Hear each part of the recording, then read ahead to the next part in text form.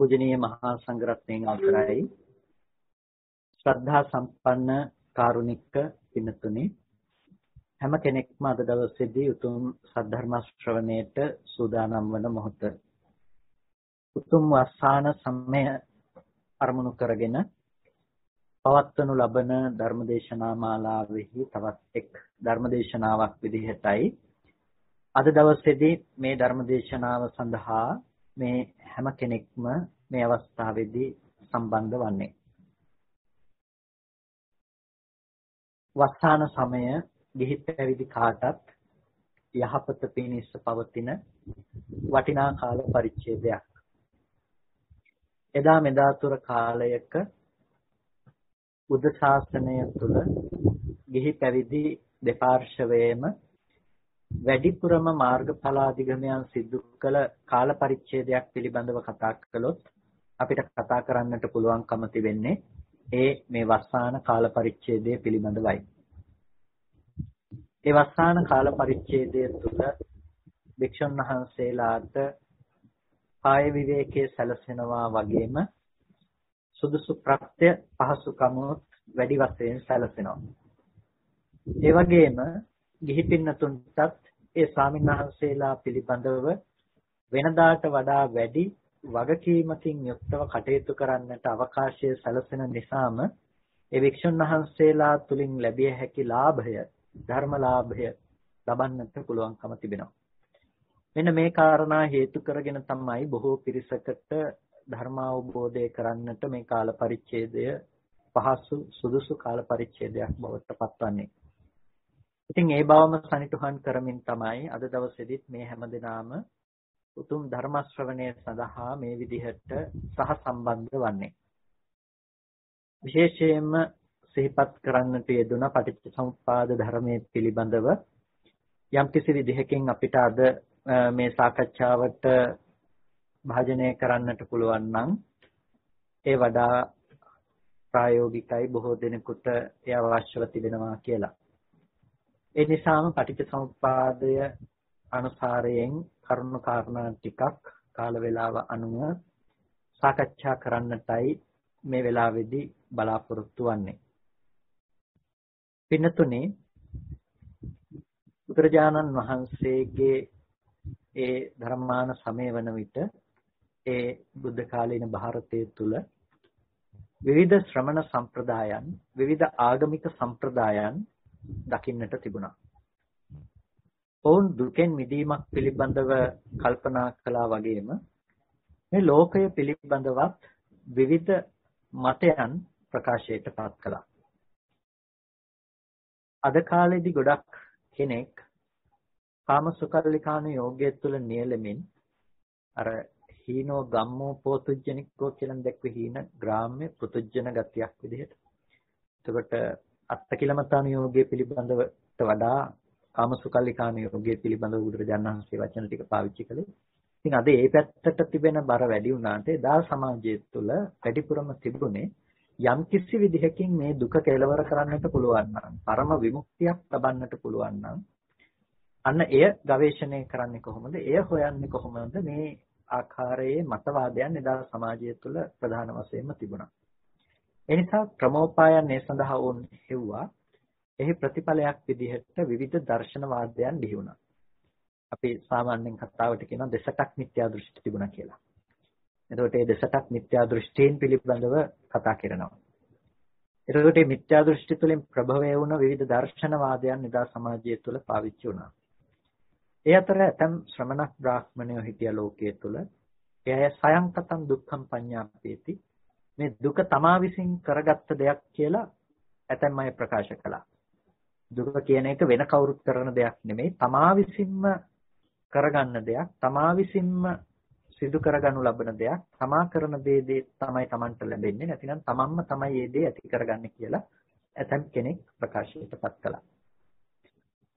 පරංකතං දුක්ඛම් පඤ්ඤාපෙන්ති කියලා තවත් කෙනෙක් කිව්වා මේ දුක කියන එක තමන් කරගන්න දෙයක් නෙමෙයි දුක කියන දේ තව කෙනෙකු විසින් ඇති කරන දෙයක්. දුක කියන දේ තව කෙනෙකු විසින් ඇති කරන දෙයක්. සයන් කතන් දුක්ඛම් පරං කතන් දුක්ඛම් තමන් විසින් ඇති කරගන්න දෙයක් කියලා කෙනෙක් කියනකොට තව කෙනෙක් පරංකතන් දුක්ඛං කිව්වා. දුක කියන්නේ අනුන් විසින් ඇති කරන ලබන දෙයක් කියලා. ඒ කියන්නේ දුක කියලා කියන්නේ අනුන් විසින් ඒ කියන්නේ දැන් අපි ගත්තොත් දෙවිය ලෝකය මැව්වා ලෝකයේ මාපනය කළ දෙවියන් විසින් මේ දුක නිර්මාණය කළා. දුක ඇති වෙන්නට තියෙන වටපිටාව සත්‍ය කරා දුක පැමිණවීම සිද්ධ කරන්නේ දෙවියන් විසින්. නැතිනම් නිර්මාතෘ විසින් නැතිනම් ලෝකයේ පාලකයා විසින් නැතිනම් නාශකයා විසින්. ඔය ආදී විවිධ සංකල්ප එදා සමාජය තුළ බිහි වෙලා තිබුණා. ඉතින් මෙන්න මේ විදිහට පරංකතන් දුක්ඛම් පඤ්ඤාපේති කියලා දුක කියන දේ අනුන් විසින් කරන ලද්දක් කියලා මතවාද දරන ශ්‍රමණක් බ්‍රාහ්මණය ලෝකයේ තුල හිටියා. සයන්කතංච පරංකතංච දුක්ඛම් පඤ්ඤාපෙන්ති කියලා ඇතම් කෙනෙක් දුක කියන දේ තමාත් සිද්ධ කරන ඒ වගේම අනුන් විසිනුත් සිදු කරනු ලබන තමාත් අනුනුත් කියන දෙදෙනා විසින්ම කරනු ලබන දෙයක් හැටියට දුක හඳුනාගත්ත කෙනෙක් පිරිසුදුත් හිටියා. අසයන්කත අපරාංකත දුක්ඛම් පඤ්ඤාපේති කියලා දුක කියන දේ තමන් විසිනුත් කරපු දෙයක් නෙමෙයි අනුන් විසින් කරපු දෙයක්ුත් නෙමෙයි අදිච්ච සමුප්පන්නයි ඒක ඉබේ හටගත්ත දෙයක් කියලා මෙබඳු වාදයන් ප්‍රකාශ කරන අය එදා සමාජය තුල බොහෝ සෙයින් හිටියා. එතකොට මේ දුක පිළිබඳව මෙහෙම විවිධ මතවාද සංවාද තිබුණ සමාජය තුළ ඔවුන් දුක නැති කිරීම සඳහා ඒ ඒ ඒ පැති වලින් ක්‍රමෝපායන් අනුගමනය කළා.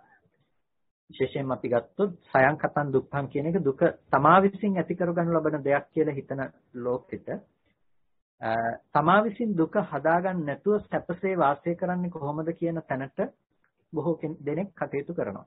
අද කාලේ ගත්තත් අපි දුක නැතුව ජීවත් වෙන්න උත්සාහවත් වන්නේ අපිට දුක නැති කරන්න පුළුවන් කියන තැන ඒ කියන්නේ දුක අපි විසින් සකස් කරගන්නවා කියන තැන ඉඳලා ඇතම් කෙනෙක්. භෞතිකවාදී මනසක් පිහිට කෙනෙක් ඇතම් විට කල්පනා කරන්නට පුළුවන් දුක කියන දේට හේතුව තමාගේ පසුබිමයි කියලා. ඒ වගේම පරංකතන් දුක්ඛං කියලා ලෝකයේ මාපන වාදයක් නැත්නම් මෞම් වාදයේ පිළිබඳව කතා කරන කෙනෙක් මේකේ ලෝකයේ ඒ පැත්තෙන් කතා කරන්නට පුළුවන්කම තිබෙනවා. ඒකට මෙන්න මේ මේ ආකාරයන්ගෙන් දුක කියන දේ පිළිබඳව එක එක ශ්‍රමණ සම්ප්‍රදායන් විසින් විවිධ අර්ථකථන සපයනකොට බුදුරජාණන් වහන්සේ මේ පිළිබඳව ලෝකයට දේශනා කළේ පටිච්ච සමුප්පන්න. මේ දුක කියන දේ පටිච්ච සමුප්පන්න ධර්මයක් හැටියට. එනිසා දුක පටිච්ච සමුප්පන්නයි. පටිච්ච සමුප්පන්නයි කියලා කියන්නේ ප්‍රත්‍ය ධර්මයන්ගෙන් සකස් වෙන දෙයක්. ප්‍රත්‍ය ධර්මයන්ගෙන් නැතිනම් ප්‍රත්‍ය සමவாயෙන් සකස් වෙන දෙයක්. ප්‍රත්‍ය නිසා සමුප්පන්න භාවයේ උපදින බව विद्यමානයි. එතකොට බුදුරජාණන් වහන්සේ දැක්කේ කෙනෙකු හෝ පුද්ගලයෙකු විසින් ඇති කරගනු ලබන තමා හෝ පරිබාහිර විසින් පුද්ගලයෙකු විසින් ඇති කරගනු ලබන දෙයක් හෝ එහෙම නැතිනම් ඉබේ පහළ වෙන ආකස්මික අදිච්ච සමුප්පන්න වූ දෙයක් හැටියටත් නෙමෙයි පටිච්ච සමුප්පන්න දෙයක් හැටියට. ඒ කියන්නේ මෙන්න මේ හේතු ටික තිබුණොත් මේ ඵලය හට ගන්නවා. මේ හේතු නැති වුණොත් මේ ඵලය නැති කරන්න පුළුවන්කම තියෙනවා.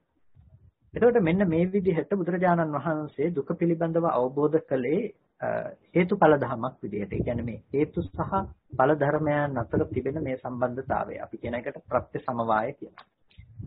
එතකොට මේ ප්‍රත්‍ය ධර්මයන් නිසා උපදින දෙයක්. යම් කිසි ප්‍රත්‍යයන් ටිකක් නිසා උපදින දෙයක්.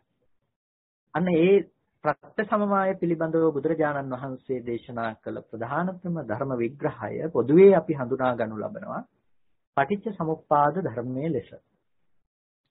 ඒ පටිච්ච සමුප්පාද ධර්මයේ ලෙස අපි එය හඳුනා ගන්නකොට බුදුරජාණන් වහන්සේ කරන ලද දේශනාවන් පිළිබඳව අපි අවධානය යොමු කිරීමේදී අපිට දකින්න පුළුවන්කම තියෙනවා විවිධ පරයයන් ඔස්සේ බුදුරජාණන් වහන්සේ පටිච්ච සමුප්පාද ධර්මය අපිට විවරණය කරලා විභජනය කරලා පෙන්වලා තියෙනවා. විවිධ පරයයන් ඔස්සේ. ඒක මෙන්න මේ විදිහයි කියලා එක පරයයකින් විතරක් ඒක විග්‍රහ කොට දක්වන්න පුළුවන් කමක් නැහැ. ඒක බොහෝ ණය ක්‍රමයන් තිබෙනවා. පටිච්චසමුප්පාද න්‍යාය ක්‍රමයන් බොහෝ තියෙනවා. එතකොට දැන් මේ පටිච්චසමුප්පාද ණය ක්‍රමයන් තේරුම් ගන්නට නම් තීක්ෂණ නුවණක් අවශ්‍යයි. ඊටාම ගැඹුරු, ඊටාම තීක්ෂණ නුවණක් අවශ්‍යයි. බුද්ධඝෝෂ අටකථාචාර්යයන් වහන්සේ විසින් මහා ප්‍රඥාවන්ත මහා ප්‍රඥෙක් මහා උතුමන් වහන්සේ නමක් උන්වහන්සේ විසින් පවා කිව්වේ මේ පටිච්චසමුප්පාද ධර්මය කියන එක ඊටාම ගැඹුරු දෙයක්. කොච්චර ගැඹුරුද කියනවා නම් මේක මහ මුහුදට වැටුණු කෙනෙක් වගේ. මහා සාගරයෙන් මැදට වැටුනහම පරතරක් පේන්නේ නැති කෙනෙක් වගේ මේ පටිච්චසමුප්පාද ධර්මය පිළිබඳව වැටහෙනවා කියලා. ඇයි උන්වහන්සේගේ ප්‍රඥාව ඒ තරම් ගැඹුරු ප්‍රඥාවක් උන්වහන්සේට ඒ තරම් මේ ධර්මයේ තුල පටිච්චසමුප්පාද ධර්මයේ තුල ණය ක්‍රමයන් දකින්නට පුළුවන්කම තිබුණා. ඒ නිසා බුදුරජාණන් වහන්සේමත් දේශනා කළා මේ පටිච්චසමුප්පාදයේ ගම්භීරෝ ඡායම් පටිච්චසමුප්පාදෝ ගම්භීරව භාසෝච්ච. මේ පටිච්චසමුප්පාද ධර්මයේ ගැඹුරුයි ස්වභාවයෙන්ුත් මේ පටිච්චසමුප්පාද ධර්මයේ ගැඹුරුයි. ඒ නිසා මේක නොගැඹුරු වූවක් නෙමෙයි. පටිච්චසමුප්පාද ධර්මයේ ගැඹුරු වූවක්. ඒ ගැඹුරු ධර්මයේ පිළිබඳව සමාජයේ මිනිස්සුන්ට තේරුම් ගන්න පුළුවන් වෙන ආකාරයට බුදුරජාණන් වහන්සේ අවස්ථානුරූපීව විවිධ පරයයන් භාවිත කරමින් අපිට විභජනය කරලා පෙන්වනවා.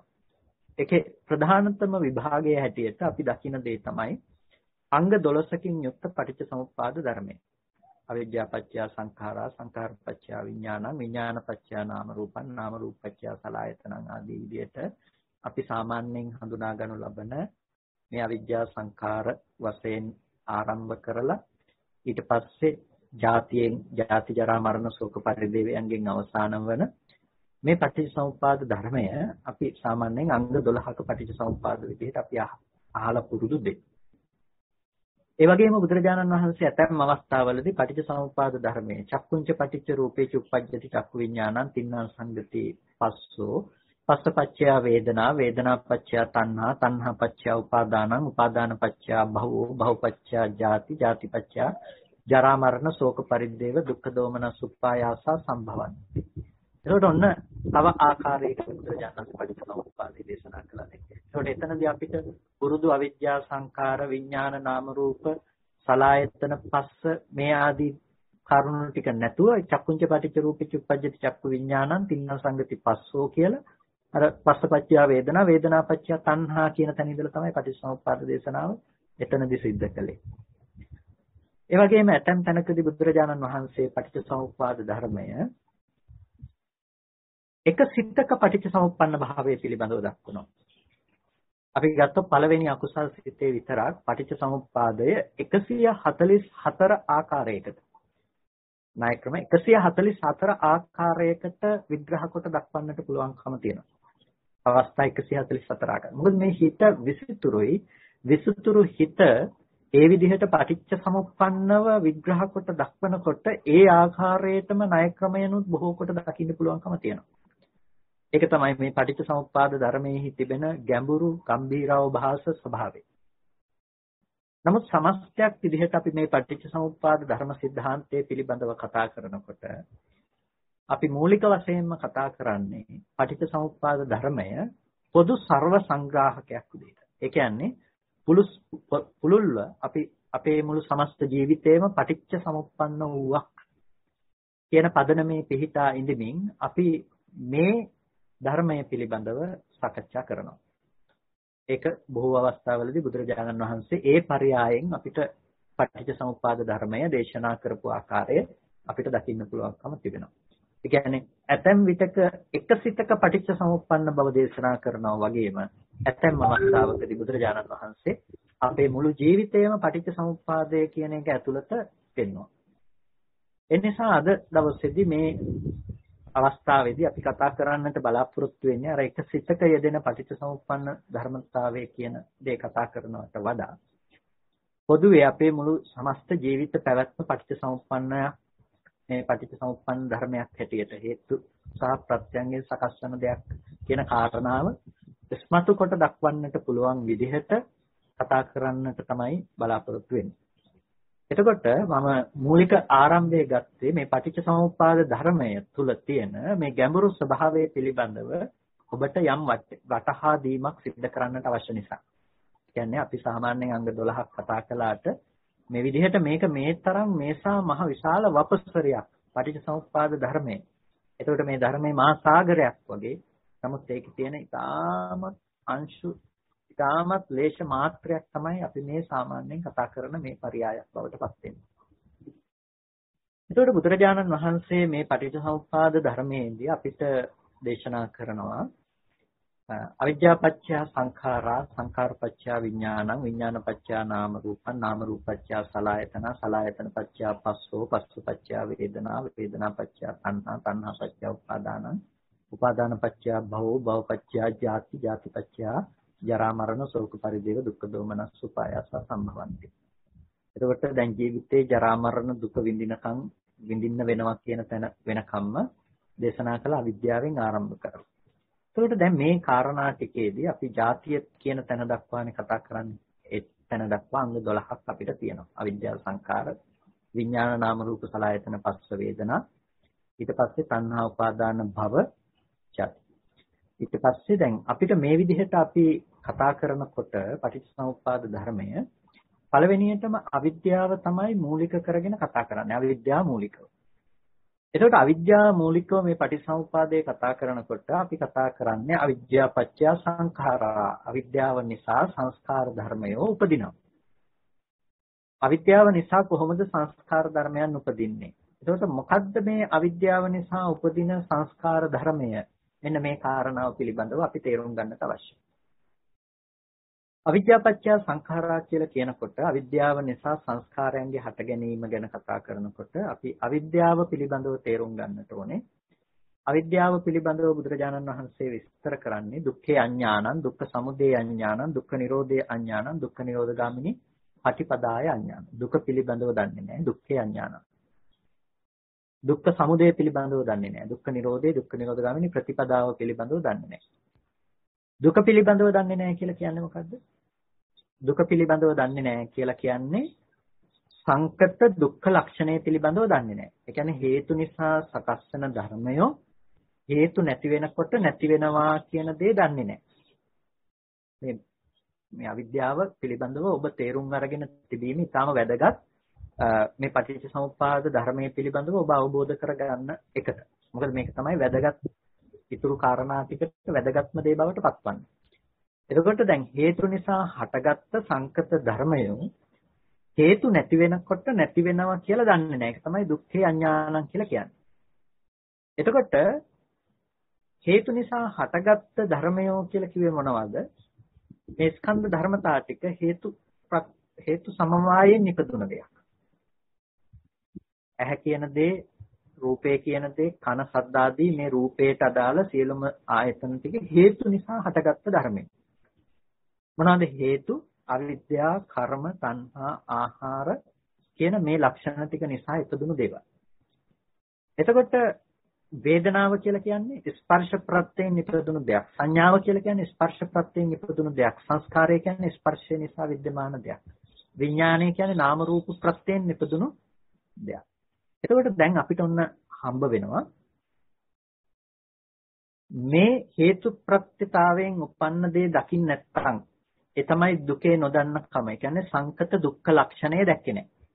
දුක ගැන දැක්කේ නැහැ කියලා කියන්නේ මේ ඉපදෙනවා මැරෙනවා ලෙඩ වෙනවා කියන එක දැක්කේ නැහැ කියන එක එහෙම නෙමෙයි. ඒක අපි කාටත් ඇස් දෙකට දකින්න පුළුවන්කම තියෙනවා. වේදනාවක් විදිහට විඳින්න පුළුවන්කම තියෙනවා.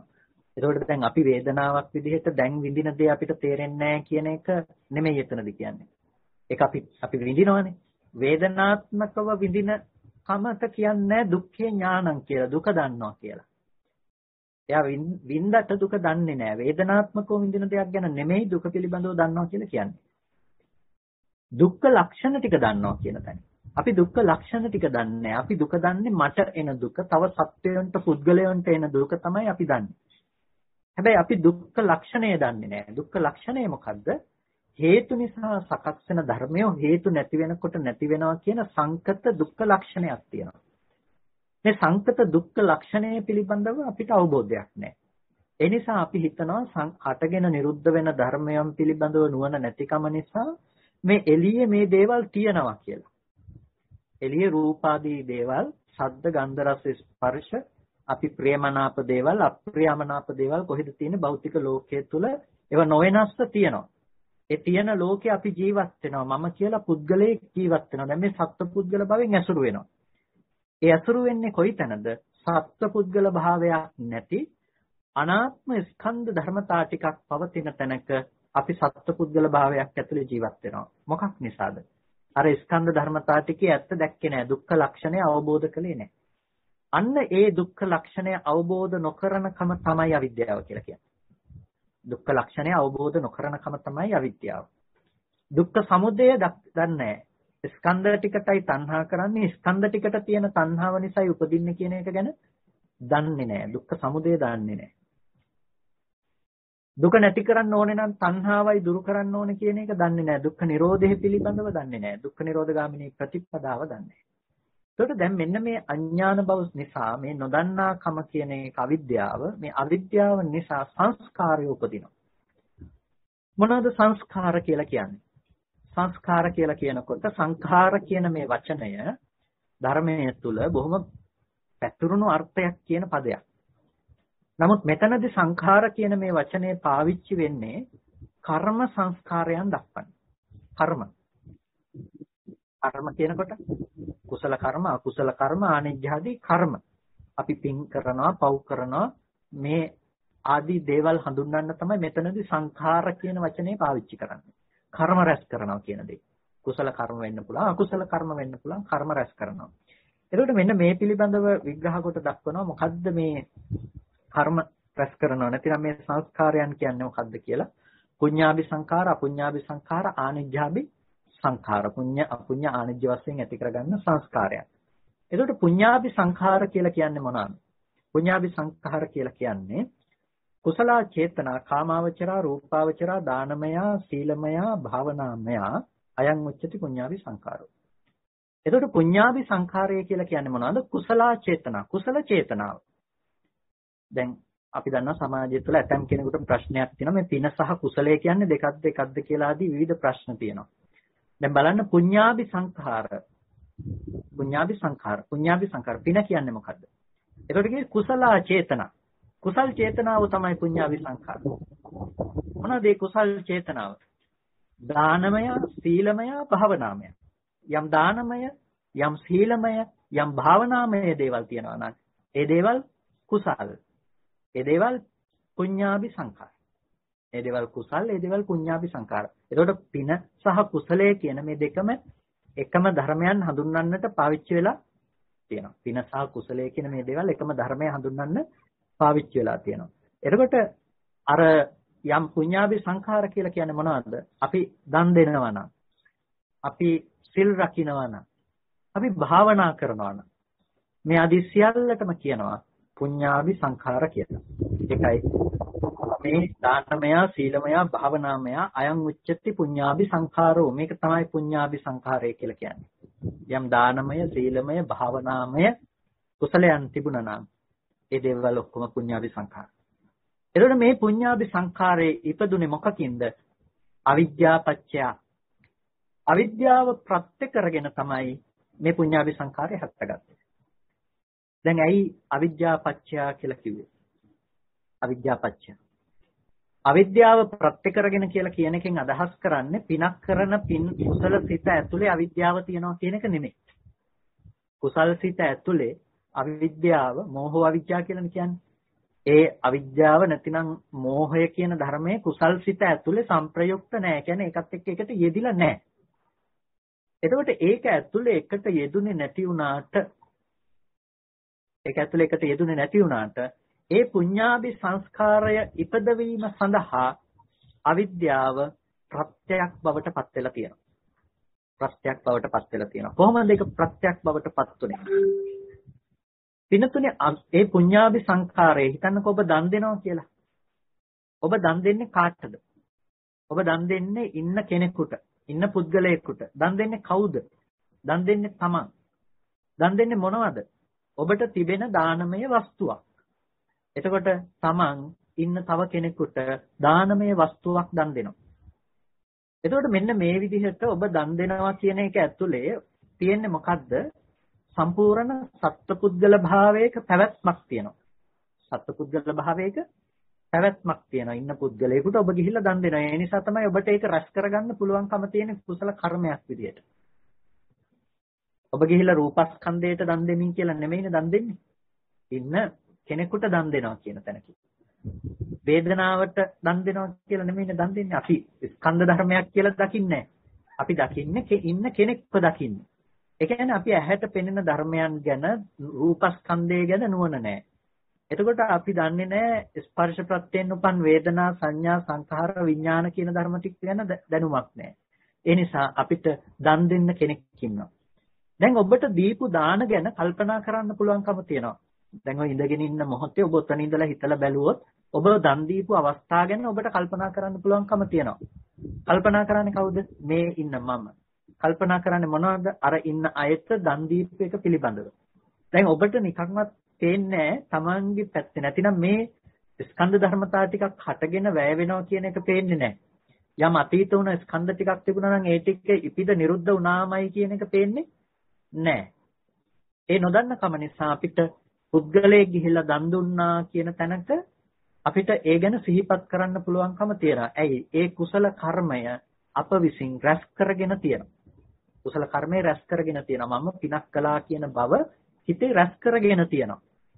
එතකොට අන්නේ රැස් කර ගැනීම තමයි අපි පින් කරනවා කියලා කියන්නේ. නැතිනම් අපි පිනක් රැස් කරගත්තා කියලා කියන්නේ. දැන් ඕකට පසුබිම හැදුවේ මොකක්ද? දන් දෙනවා කියන එක ඇතුළේ මෝහය මෝඩකම තිබ්බේ නැති වුණාට අවිද්‍යාව තිබ්බේ නැති වුණාට ඒකට පසුබිම හැදුවේ මොකක්ද? ඒකට පසුබිම හැදුවේ අර ස්කන්ධ ධර්මතා ටික පිළිබඳව යථාර්ථය නොදන්නා කම. නැතිනම් අවිද්‍යාව. අවිද්‍යාව නිසා තමයි ඔබට දන් දෙන්න පුළුවන්කම තිබ්බේ. වර්තවා ගන්න එපා මේ කියන්නේ දන් දෙන්න එපා කියන එක නෙමෙයි. ඔබට අද දන් නොදී ඉන්න පුළුවන් කමක් නැත්තේ නෑ. දන් නොදී ඉන්න පුළුවන් කමක් නෑ. දන් නොදී ඉන්න පුළුවන්. ඒ ඉන්න එකම දෘෂ්ටියක්. ඒ කියන්නේ මේ පුඤ්ඤාභි සංඛාර කියන එක වැරදි කියනවා නෙමෙයි මේක ප්‍රභවය වෙන හැටි බුදුරජාණන් වහන්සේ පෙන්වන්නේ අපිට. එතකොට දැන් අවිද්‍යාව නිසා තමයි මේ හොඳ හෝ නරක හෝ මේ කර්ම සකස් කර ගැනීම වෙන්නේ. ඒ නිසා අවිද්‍යාව දුරු කරපු දවසට කර්ම සකස් වෙන්නේ නැති වෙයි. ඒකෙන් කියන්නේ පින් කරන්නේ කියන එක අපිට අද පින් කරන්න එපා කියන එකේම නෙමෙයි. දැන් රහතන් වහන්සේලාත් ගිහිල්ලා දන් දෙනවානේ. හැබැයි රහතන් වහන්සේ දන් දුන්නා කියලා දානය කියන ක්‍රියාව කළා කියලා උන්වහන්සේට කර්ම රැස්වීමක් නැහැනේ. ඇයි කර්ම රැස්වීමක් නැත්තේ? උන්වහන්සේගේ ඥාන දර්ශනයේ පැත්තෙන් දන් දෙන්න කෙනෙක්වත් දන් දෙන්න දානයේ ප්‍රතිග්‍රාහක පක්ෂයක්වත් හිටියේ නැහැ දෙන්න දානයක් තිබෙත් නැහැ. ඇයි ස්කන්ධ ධර්මතා ටිකක් හටගෙන නිරුද්ධ වෙන තැනක මොකද්ද දානේ? අපි කියන්නේ බත් කියලා කියනවා නම් අපි බත් දෙනවා නම් බත් කියන්නේ ඇහැට ආපු වර්ණ රූපේද බත් කියන්නේ වේදනාවද සංඥාවද සංඛාරයේද විඥාණයද? ඔය ටිකෙන් තොරව බත් කියලා තව දෙයක් තිබ්බද? ඔය ටික බත්ද? මේ එකක්වත් බත් නොවන තැනක අපි බත් කියලා යමක් අපි සකස් කරගෙන තියෙනවානේ. අපි රැස් කරගෙන තියෙනවානේ. එතකොට අන්නේ රැස් කරගත්ත දේ එළියේ තියෙන දෙයි කියලා හිතන මෝඩකම නිසා තමයි අපිට ගිහිල්ලා ඔක දන් දෙන්නත් පුළුවන්කම තියෙන්නේ. හැබැයි අද දවසේදී මේ බත් තියනවා කියන මානසික මට්ටමේ ඉඳලා ක්‍රියාවෙන් විතරක් මේක නතර කරන්න යන්න තරම් මෝඩ තැනකටපත් වෙන්න හොඳ නැහැ. අපිට එළිය ඕන තරම් රූප හම්බෙනවා ඒව තියෙන තැන ඉඳලා ඇතම් කෙනෙක් උත්සාහවත් වෙනවා පින් නොකර ඉන්නයි මේකත් අවිද්‍යාව ප්‍රත්‍යයෙන් කරන්න කියලා පින් කරන්නත් එපා කියලා කියන සමහර අයත් ඉන්නවා. ඒ නිසා ඒක දෘෂ්ටියක් විතරයි.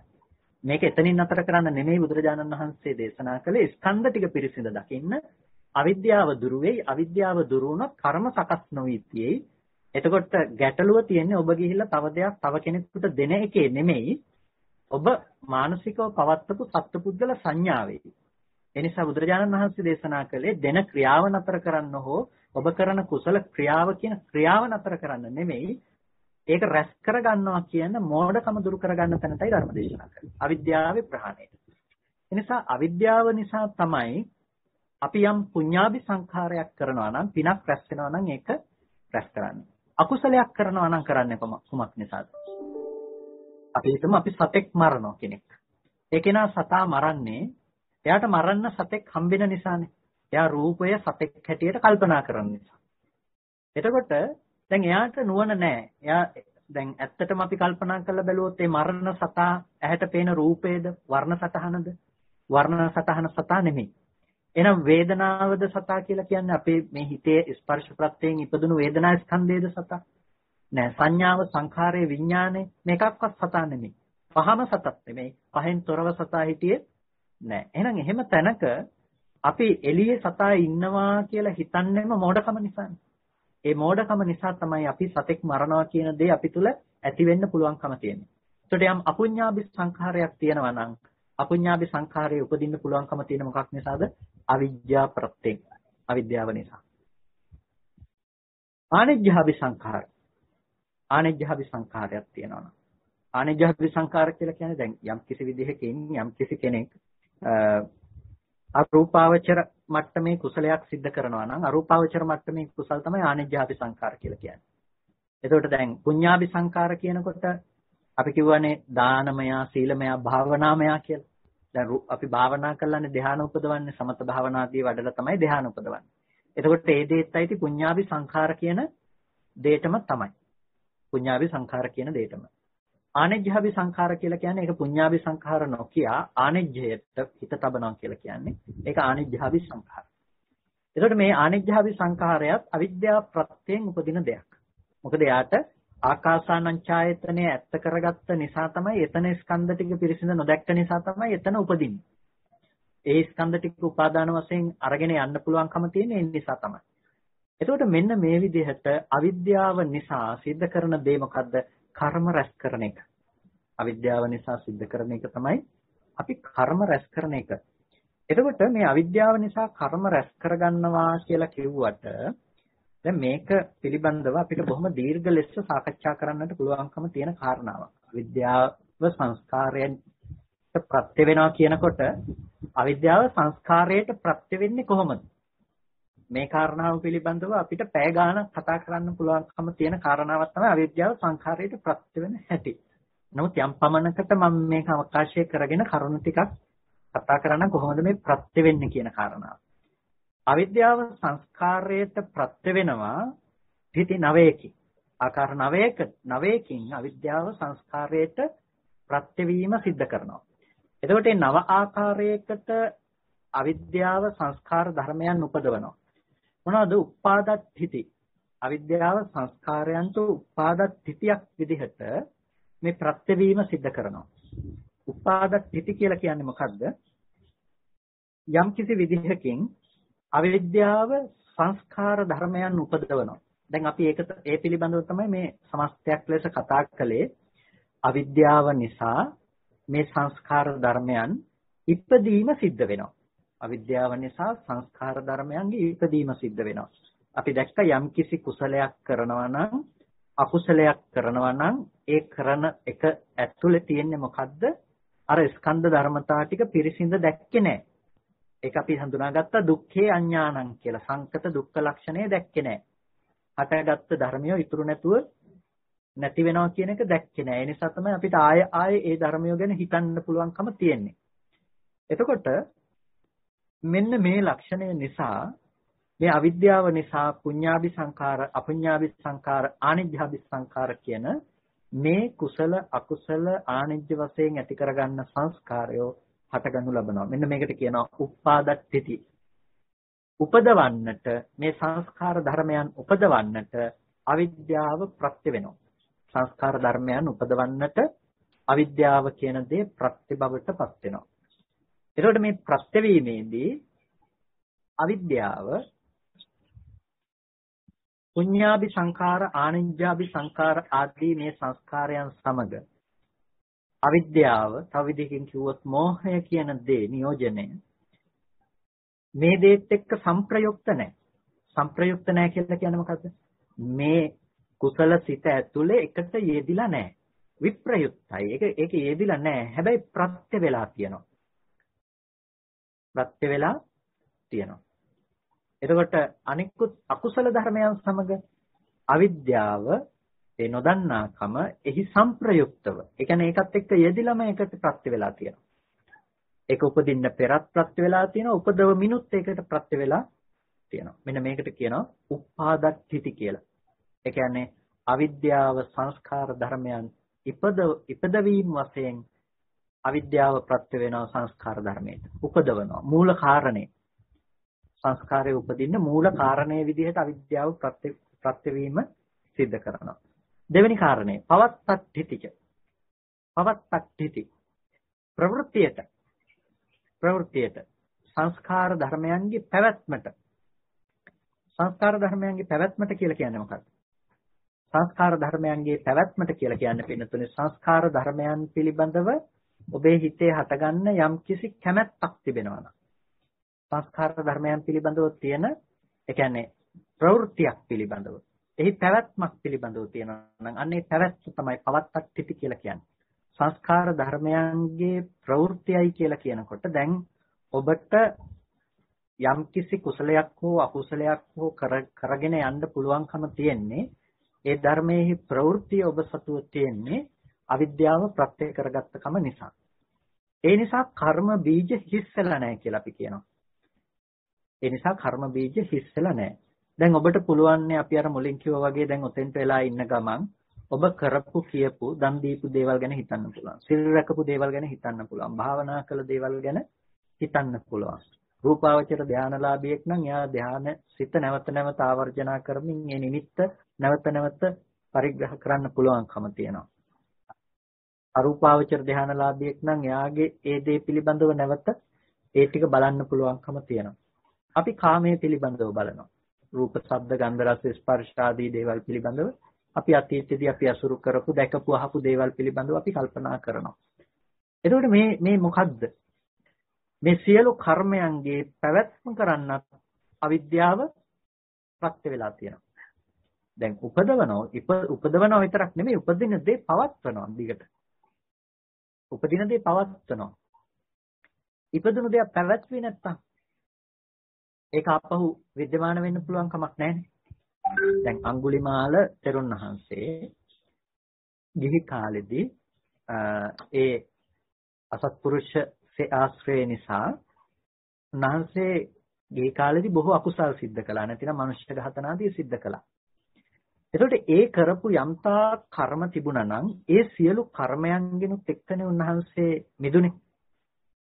අරහත් ඵලයටපත් වෙනවා කියලා කියන්නේ අර අර කරපු සියලුම කර්ම නැවත ප්‍රතිසන්දි වශයෙන් එන්න තියනවා නම් ඒ සියලු කර්ම ප්‍රතිසන්දි වශයෙන් එන සියලු කර්මය ක්ෂය කරලා දැම්මා. ඒ සියලු කර්මයන් ඉවරයි.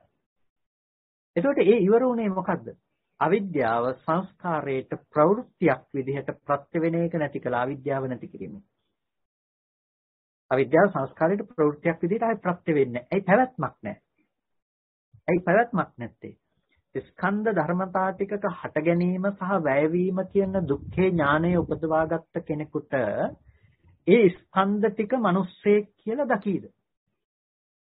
දැන් හිතන්නකෝ දැන් අපි මිනිස්සෙක් මැරුවා කියන තැනක මිනිස්සයා කියලා කියන්නේ අර කලින් අහපු විදිහටම රූපයේද පටවියාපෝ තේජෝ වායෝ හෝ වර්ණයේද මිනිස්සයා කියලා කියන්නේ නැහැ. එතකොට වේදනා සංඥා සංඛාර විඥාන කියන ස්කන්ධ ධර්මතා ටිකද නෑ මේ ටිකෙන් තොරව සත්‍යයක් හිටියා නෙමෙයිනේ. මේ ටික සත්‍යයක් නෙමෙයි. ඒකට අපිට පේනවා හටගෙන ඉතුරු නැතුව නැති වෙන ධර්මතා ටිකක් ඇති තැනක අපි තමන්ගේ පැත්තේ පුද්ගල සංඥාව උපදව ගන්න ආකාරය. ඒකට ඒ උපදව ගන්න පුද්ගල සංඥාව කවදාවත් භෞතික ධර්මතාවයන්ගේ පැවැත්මට අදාළ වෙන දෙයක් නෙමෙයි. එළියේ පවතින්නේ සත්පුද්ගල ආත්ම භාවයෙන් තොර හුදු පුද්ග හුදු ධර්මතා රාශියක් පමණයි. සුද්ධ ධම්මා පවත්තන්ති කිව්වේ ඒකයි සුද්ධ වූ ධර්ම සම්පතියක් පමණයි. එය හේතු ඇති කල්ලි හටගන්න සහ හේතු නැති වෙනකොට නැති වෙනවා කියන දේ. එතකොට මෙන්න මේ විදිහේ ධර්මතාවයක් තමයි දුක්ඛේ ඥානං කියන තැන අවිද්‍යාව නැති වෙන තැනක උපදින්නේ. එතකොට ඒ තැනකදී අපිට දැන් අර කර්ම නිමිති ගැන හිත හිත ඉන්න පුළුවන්ද? අපි කරපු කියපු දේවල් ස්කන්ධ ටික ගැන රැවටිච්ච රැවටිලානේ අපි යම් කර්ම කළා නම් කළේ එතකොට රැවටෙනකම නැති කළා නම් අද දැන් මේ කර්ම ගැන හිතන්න පුළුවන්. අද ඒ කර්ම ගැන හිතන්න පුළුවන් කමක් නැහැ.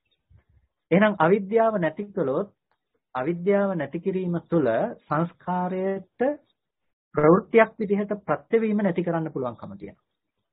අවිද්‍යාව සංස්කාරයට ප්‍රවෘත්තියක් විදිහට ප්‍රත්‍යවීම නැති කරන්න පුළුවන්කම තියෙනවා. එතකොට දැන් අපිට කරපු කියපු කර්ම ඕන තරම් හිතන්න පුළුවන්කම තියෙන්නේ අවිද්‍යාව සංස්කාරයට ප්‍රවෘත්තියක් විදිහට ප්‍රත්‍ය වෙන නිසා. ඒකේ පැවැත්ම හදලා තියෙනවා. ඔබට පුළුවන් ඒ පින පිනක් කරලා තවදුරටත් ඒ පින තහවුරු කරගන්න. පවක් කරලා පව තවදුරටත් තහවුරු කරගන්න ඔබට පුළුවන්කම තියෙනවා. ඒ කර්මයේහි පැවැත්ම කියන දේ विद्यमान කරනවා. ඒක තමයි පවත්තක් තිති කියලා කියන්නේ. එහි ප්‍රවෘත්තියට සංස්කාරයන්ගේ පැවැත්මට අවිද්‍යාව ප්‍රත්‍ය වෙනවා. සංස්කාරයන්ගේ පැවැත්ම කියන දේ සකස් කරලා දෙන්න. ඒ වගේම මේ පවත්තක් තිති කියන දේ වගේම දැන් උපාදත් තිති කියලා කිව්ව උපදවනවා කියන එක. එතකොට අවිද්‍යාව හේතුවෙන් කර්ම උපදවනවා. උපදවන ලද කර්ම පැවැත්වීම සඳහා පවත්තක් තිටියක් විදිහටත් අවිද්‍යාව උපස්තම්භක වෙනවා. දැන් ගහක් පැල කරනවා පැල කරනවා විතරක් නෙමෙයි ඒ ගහේ පැවැත්මටත් උපකාර වෙනවා. ඒකයි මේ කියන්නේ. ඒ කියන්නේ යම් බීජයක් වතුර නිසා තෙතමනේ නිසා පැලවුණා. එතකොට ඒ පැලවුණා විතරක් නෙමෙයි මොකද්ද වෙලා තියෙන්නේ? ඒ ගහේ පැවැත්මටත් ඒ ජලය නැවත උපකාර කරනවා. එතකොට අන්න ඒ වගේ දෙයක්. එතකොට ඒ වගේ අවිද්‍යාව සංස්කාරය උපදවනවා. උපදවල නතර වෙන්නේ නැහැ. එහි පැවැත්මටත් නැවත නැවත අවිද්‍යාව උපකාර කරනවා. ඉතින් යම් තාක් කාලයක අවිද්‍යාව අප්‍රහීන නම් අප්‍රහීන තාක් උපදිනවා කියන එක නතර වෙන්නේ නෑ. මේ කර්ම නිමිති නැවත නැවත සකස් කරලා දෙන්න පුළුවන්කම තියෙනවා. පවත්තක් තිති. එතකොට මේ අවිද්‍යාව සංස්කාරයට පැවැත්මට උපකාර වෙනවා වගේම නිමිත්තක් තිති කියලා කියනවා. නිමිත් නිමිත්ත භූතා නිමිත්තක් ලෙස පැවැත්මට කාරණාව බවට පත් වෙනවා. අවිද්‍යාව තමයි නිමිත්ත. අපි සාමාන්‍යයෙන් නිමිති කියලා කියන්නේ මොනවද? අපි නිමිති කියලා කියන්නේ සලකුණු. මං නිමිති කියලා කියන්නේ මාර්ග සලකුණු කියන එක. ඒකට යම් නිමිති කියලා කියන සලකුණු කියන එක. ඒකට අවිද්‍යාව කියන දේ සංස්කාරයට නිමිත්තක් පිටියක් විදිහට ප්‍රත්‍ය වෙනවා. යම් තැනක අවිද්‍යාව තියෙනවා නම් ඒකම තමයි සලකුණ. එතන කර්ම සකස් කිරීමක් තියෙනවා කියන්නේ. යම් තැනක අවිද්‍යාව තියෙනවා නම් ඒකම තමයි සලකුණ. එතන අනිවාර්යයෙන්ම කර්ම සකස් කිරීමක් තියෙනවා කියන්නේ. ඒ නිසා අවිද්‍යා අනුසය හරි තියෙනවා නම් අනිවාර්යෙන් ප්‍රතිසන්දි වශයෙන් යනවම තමයි. අවිද්‍යාව එක පොඩ්ඩක් හරි තිබුණොත් ප්‍රතිසන්දි වශයෙන් යනවම. ඒකයි අනාගාමි වෙලාවත් බේරෙන්න බැරුව තව එක තැනකට හරි ප්‍රතිසන්දි වශයෙන් යන්නේ. මොකද ඒක පොඩ්ඩක් හරි තිබුණොත් කොච්චර දැනුමක් තිබුණත් අනිවාර්යෙන් ප්‍රතිසන්දි වශයෙන් යනවම තමයි. ඒ මුල එක චූටි සැවැන්න මුලක් තරම් තිබුණා. ඒ හොඳටම ප්‍රමාණවත්. ඒකයි නිමිත්තක් පිටි කියලා කියනවා. එතකොට ඒක නිමිත්ත බවට පත් වෙලා ප්‍රතිසන්දිය සකස් කරනවා කියන දේ. ඊට පස්සේ ආයෝහනට්ටි. ආයෝහනට්ටි කියලා කියන්නේ ආයෝහණය කියන්නේ රැස් කර රැස් කරනවා කියන එකට. ආයෝහණය කියලා කියන්නේ කර්මාභියෝහණය කියලා කියන්නේ කර්මය ආයෝහණය කරනවා. කර්මය එකතු කරගන්නවා. කර්මය රැස් කරගන්නවා කියන එකට. එතකොට ආයුහන බුතා තිතිති අත්ථෝ මේක රැස් කරගන්නවා කියන අර්ථයෙන් මේක ප්‍රත්‍ය වෙනවා. අවිද්‍යාව සංස්කාරයට ප්‍රත්‍ය වෙනවා ආයුහනට්ටිතියක් විදිහට. ආයුහනට්ටිති කියලා කියන්නේ කර්මය රැස් කරගන්නවා. රැස් කරනවා කියලා කියන එක වර්ධවා ගන්න එපා. මේ රැස් කරනවා කියලා කියන්නේ මේ එකතු කරලා කොහේ හරි වාජනයක තැම්පත් කරලා තියනවා වගේ මේ හිතේ කොහේ හරි මේ ඩේටා එකක් විදිහට තැම්පත් කරලා තියනවා එහෙම නෙමෙයි. මේක නැවත බාහිර ඇති බවට නිමිත්තක් ලැබීම විතරයි කරන්නේ. නැවත ඕන වෙලාවක මානසිකාර ප්‍රත්‍යයෙන් ඒක උපදවන්න පුළුවන්කම තියෙනවා.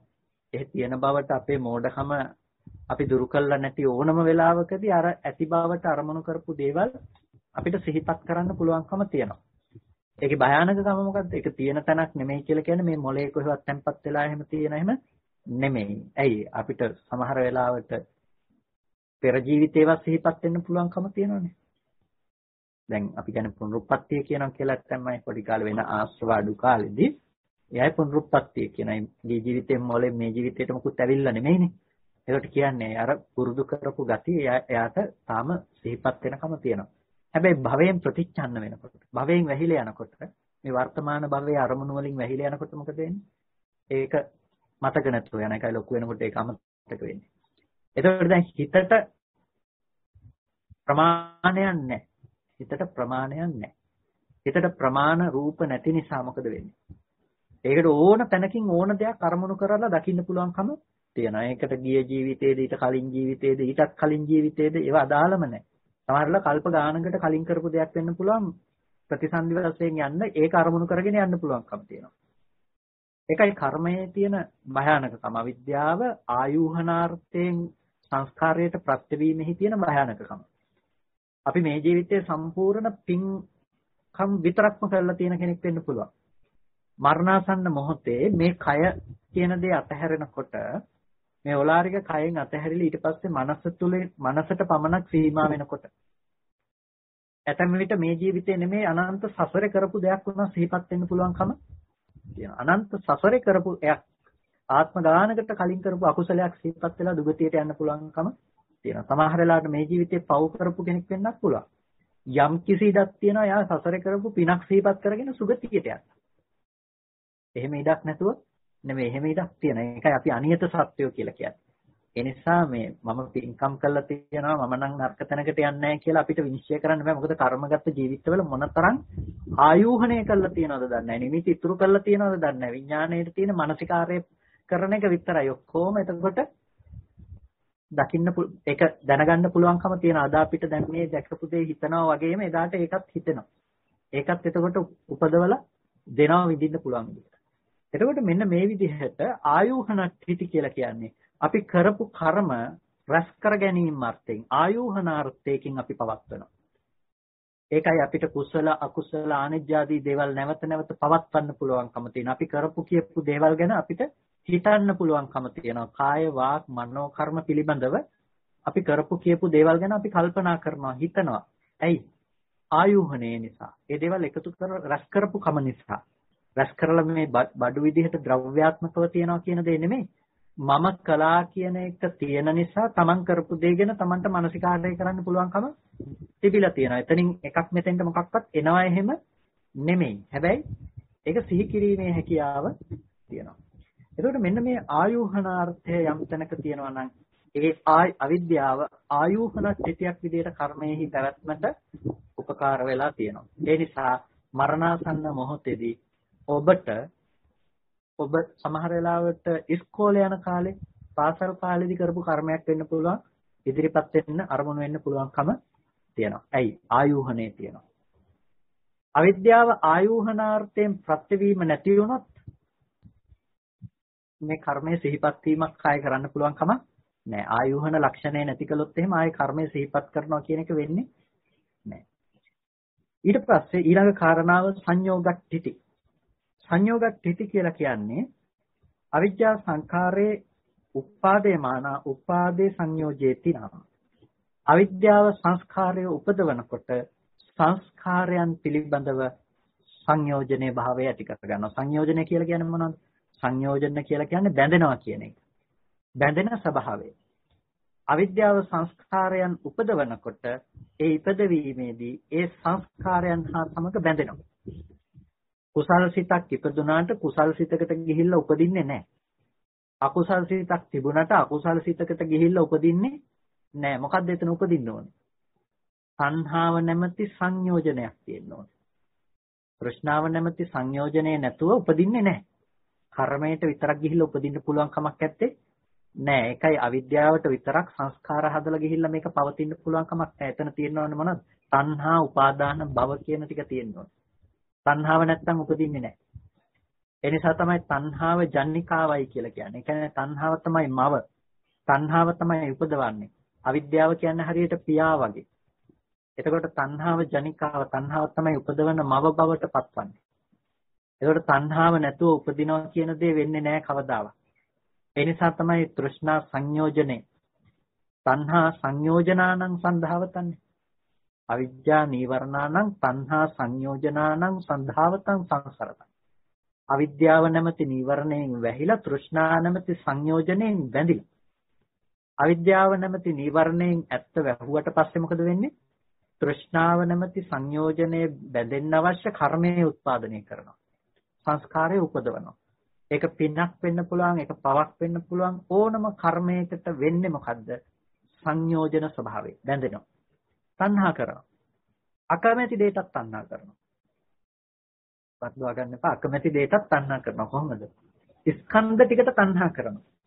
දැන් හිතන්නකො ඔබට මරණාසන්න මොහොතේදී සීපත් වෙන්න ඔබ අකමැති මිනිස්සෙක් වෙන්න පුළුවන්. අකමැති මිනිස්සෙක් වෙන්න පුළුවන්. අකමැති මිනිස්සෙක් ගැන ඔබ කරපු කියපු වැඩක් වෙන්න පුළුවන්. එතකොට දැන් මෙතන තණ්හාව කියන දේ දකින්න එපා අපි මේ මිනිස්සයාට කැමති නැහැනේ මම මේ තණ්හාවක් නැති වුණාට ඉපදිනවා කියලා හිතන්න එපා මොකද්ද මෙතන මේ තණ්හාව කියලා කියන්නේ? මේ පුද්ගලයෙකුට තියෙන ආසාවද තියනවද නැද්ද කියන එක නෙමෙයි මෙතන තණ්හාව කියලා කියන්නේ. අකමැති මිනිස්සයා කියලා කියන තැන රූප වේදනා සංඥා සංකාර විඥාන කියන ස්කන්ධ සම්පතියක පැවැත්මක් නේ තියෙන්නේ. එතකොට තමන් කවුද?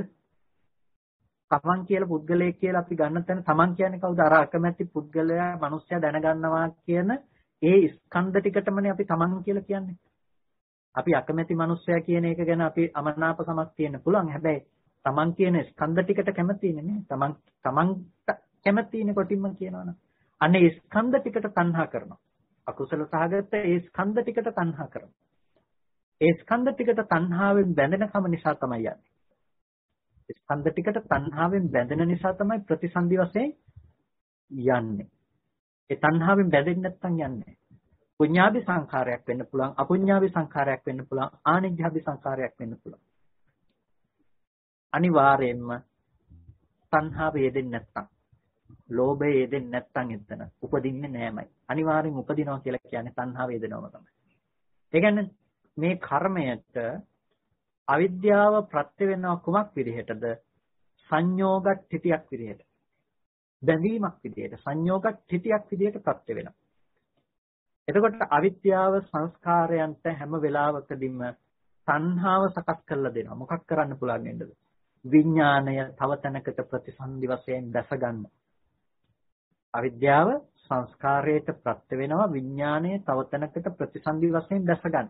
ඒ නිසා තමයි කරන කියන හොඳ නරක අනුව ප්‍රතිස්කන්ධ විපාක කරා යන්න පුළුවන්කම අපිට තියෙන්නේ. ඊට පස්සේ පලිබෝධට්ඨිතිත. එතකොට සංයෝගට්ඨිති කියලා කිව්වා වගේ පලිබෝධට්ඨිති. අවිද්‍යාව සංස්කාර ධර්මයන්ට ප්‍රත්‍ය වෙනවා පලිබෝධට්ඨිතියක් විදිහට. පලිබෝධට්ඨිති කියලා කියන්නේ මොකද්ද? දැන් පලිබෝධ කියන එක අපි වචනේ දන්නවා මොකද්ද පලිබෝධ කියන්නේ කියලා. අපි සාමාන්‍යයෙන් භාවිත කරනවා පලිබෝධනාශක පාවිච්චි කරනවා. ඒකට පලිබෝධ කියලා කියන්නේ අපි යම් කිසි විදිහකින් ඒ අපිට අවශ්‍ය විදිහට ඒ දේ තබා ගන්නට නොහැක අපිට එන උවදුරු කියලා අපි කියනවා පලිබෝධය කියන එකට. එතකොට මොකද්ද මේ පලිබෝධ තිති කියලා කියන්නේ මෙතනදී? එතකොට යස්මා අවිජ්ජාව සංඛාරයේ උපාදේ මාන උපාදා උපාදාය පවත්‍යාච මූල කාරණට්ඨේන. එතකොට මෙතනදී මේ පලිබෝධ තිති කියලා කියන්නේ සංඛාරයේ පවත්තේමානා පවත්තියම් පලිබුජ්ජති කියලා කියනවා. සංඛාරයේ පවත්තමානා පවත්තියම් පලිබුජ්ජති. සංස්කාරයන් පවත්වමින් ප්‍රවෘත්තියට බාධා පමුණවන.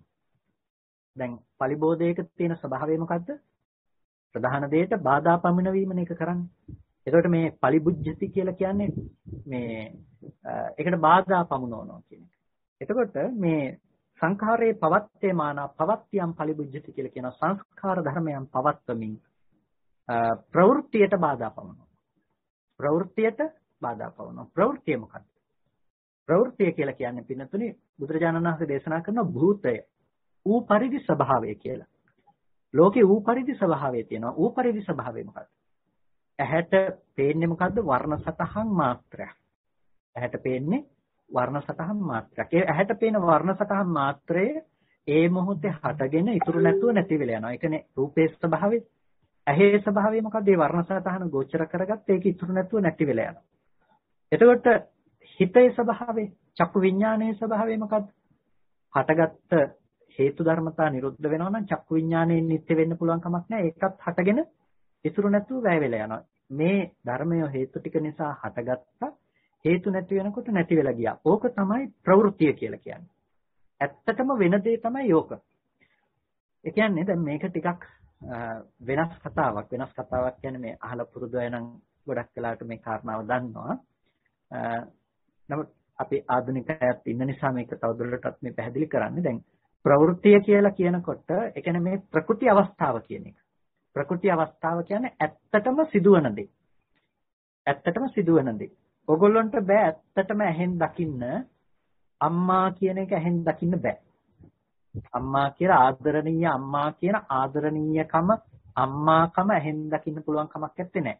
ආදරණීය දරුවා කියලා දරුකම ආදරණීයකම ඇහෙන් දකින්න පුළුවන් කමක් නෑ.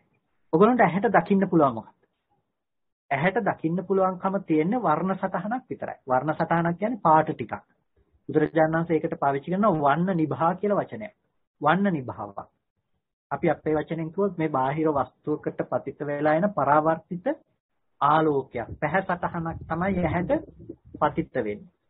එතකොට මෙන්න මේ වන්න නිභාව මේ පැහැ සටහන කියන එක ඔබ ළඟට අරගෙන එනවද ওই පාට ටික ඇවිල්ලා කියනවද මේ මම අම්මයි කියලා? ඇහැට ඇවිල්ලා පාට ටික කියන්නේ නැහැ. පාට ටික කියන්නේ මම දරුවා කියලා. එතකොට ඇත්තටම පේන්නේ මොකක්ද? පේන්නේ පාට ටික. ඇහි තියෙන උපවත් බවට චක්කු ප්‍රසාදයේ තියෙන උපවත් බවට කරන්න පුළුවන්කම තියෙන්නේ අර පාට ටික ඇහැට ගෝචර කරගන්න දේ කරන්න විතරයි. වර්ණ සතහන ඇහැට වැටෙනවා. එච්චරයි පුළුවන්.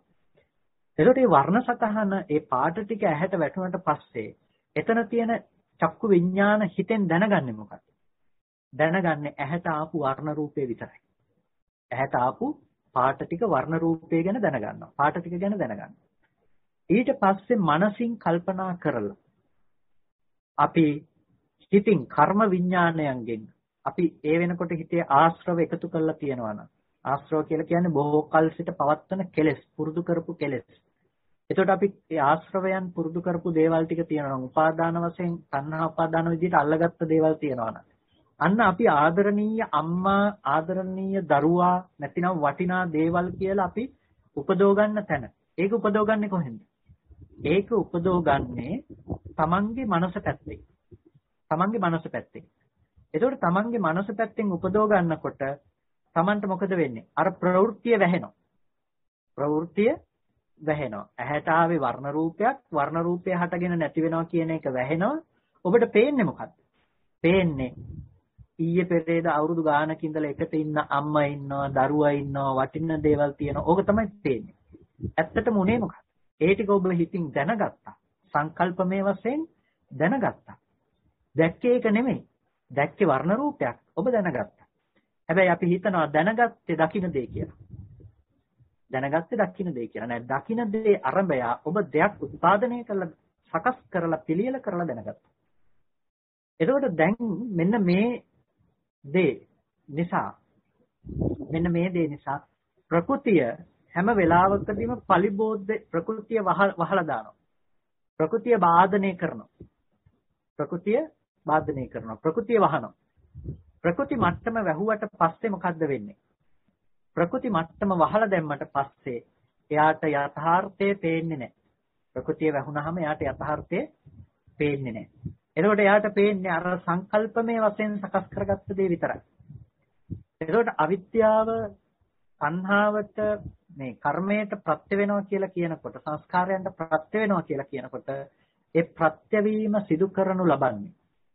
ඒ ප්‍රත්‍යවීම සිදු කරනු ලබන්නේ පලිබෝධක් පිටියක් විදිහට. පලිබෝධක් පිටියක් විදිහට කියලා කියන්නේ අවිද්‍යාවෙන් අර ඇත්තටම වෙන සිදුවීම වහලා වැරදි දෙයක් තුල පෙන්වා පෙන්වීම කියන දේ සිද්ධ කරනවා. ඒක තමයි පලිබෝධක්කෝ කියලා කියන්නේ. පලිබෝධාර්ථයක් මෙතන සිද්ධ වෙනවා කියලා කියන්නේ. එතකොට මේ පලිබෝධාර්ථයක මේක ක්‍රියාත්මක වෙනකොට පලිබෝධාර්ථයක මේක වැඩ කරනකොට එතනදී සම්පූර්ණම සත්‍ය යථාර්ථය භූතය ඌ පරිදි දේ වැහිලා යනවා. එතකොට අපිට ස්කන්ධ ටිකක හට ගැනීම සහ වැයවීම පේන්නේ නෑ අපිට පේන්නේ අම්මම ඉන්නවා දරුවම ඉන්නවා මේ විදිහට තමයි පේන්නේ. එතකොට මේ පේන්නේ කොතනද? දරුවා නොවුණු රූපයක් ඇහැට පේන තැනක. දැන් එකම රූපේ පේනකොට එක එක්කෙනාට එක එක නිමිතිනේ ඇති වෙන්නේ දැන් මලගෙදරකට ඔයගොල්ලෝ කවුරුත් ගිහිල්ලා තියෙන කෙනෙක් මරුණාම එයත් එක්ක ළඟම ඇසුරු කරපු අයට ටිකක් දුරින් ඇසුරු කරපු අයට ඊටත් වඩා දුරින් ඇසුරු කරපු අයට සහ කිසිවක් නොදන්න අය කියන මේ අයට දුක ඇති වෙන්නේ එකම විදිහටද නෑ දුක ඇති වෙන්නේ විවිධ ස්වරූපෙන්. ඇයි දුක ඇති වෙන්නේ විවිධ ස්වරූපෙන් වෙන්නේ? ඇහැට රූපේ වර්ණ රූපේ එකම විදිහට පෙනුණාත් එයාට දුක ඇති කරන්නේ මොකද්ද? දුක ඇති කරන්නේ අර පිළිබඳව ඒ අය තමන්ගේ සංකල්පනාවසෙන් ඇති කරගත්ත බැඳීමට අනුරූපීව. ඇහැට රූපේ පේනවා. එහෙනම් පේන දේ නිසා නෙමෙයි ඔය දුක ආවේ. මැරුණා කියලා අපිට ওই රූපේ පේන එක නිසා නෙමෙයි දුක ආවේ. පේන එක නිසා දුක එනවා නම් හැමෝටම දුක් ගලාගෙන එන්න ඕනේ. හැබැයි එහෙම වෙන්නේ නැහැ. එහෙනම් දුක එන්නේ මොකක් නිසාද? අර එක තුල අපිට ආශ්‍රවයන්ගෙන් අරක ඇසුරු කරන්න පුළුවන් නම් උපාදානයන්ගෙන් ඇසුරු කරන්න පුළුවන් අර පේන රූපය ගැන අපි කල්පනා කරනවා. මෙච්චර කල් හොඳට හිටපු කෙනා.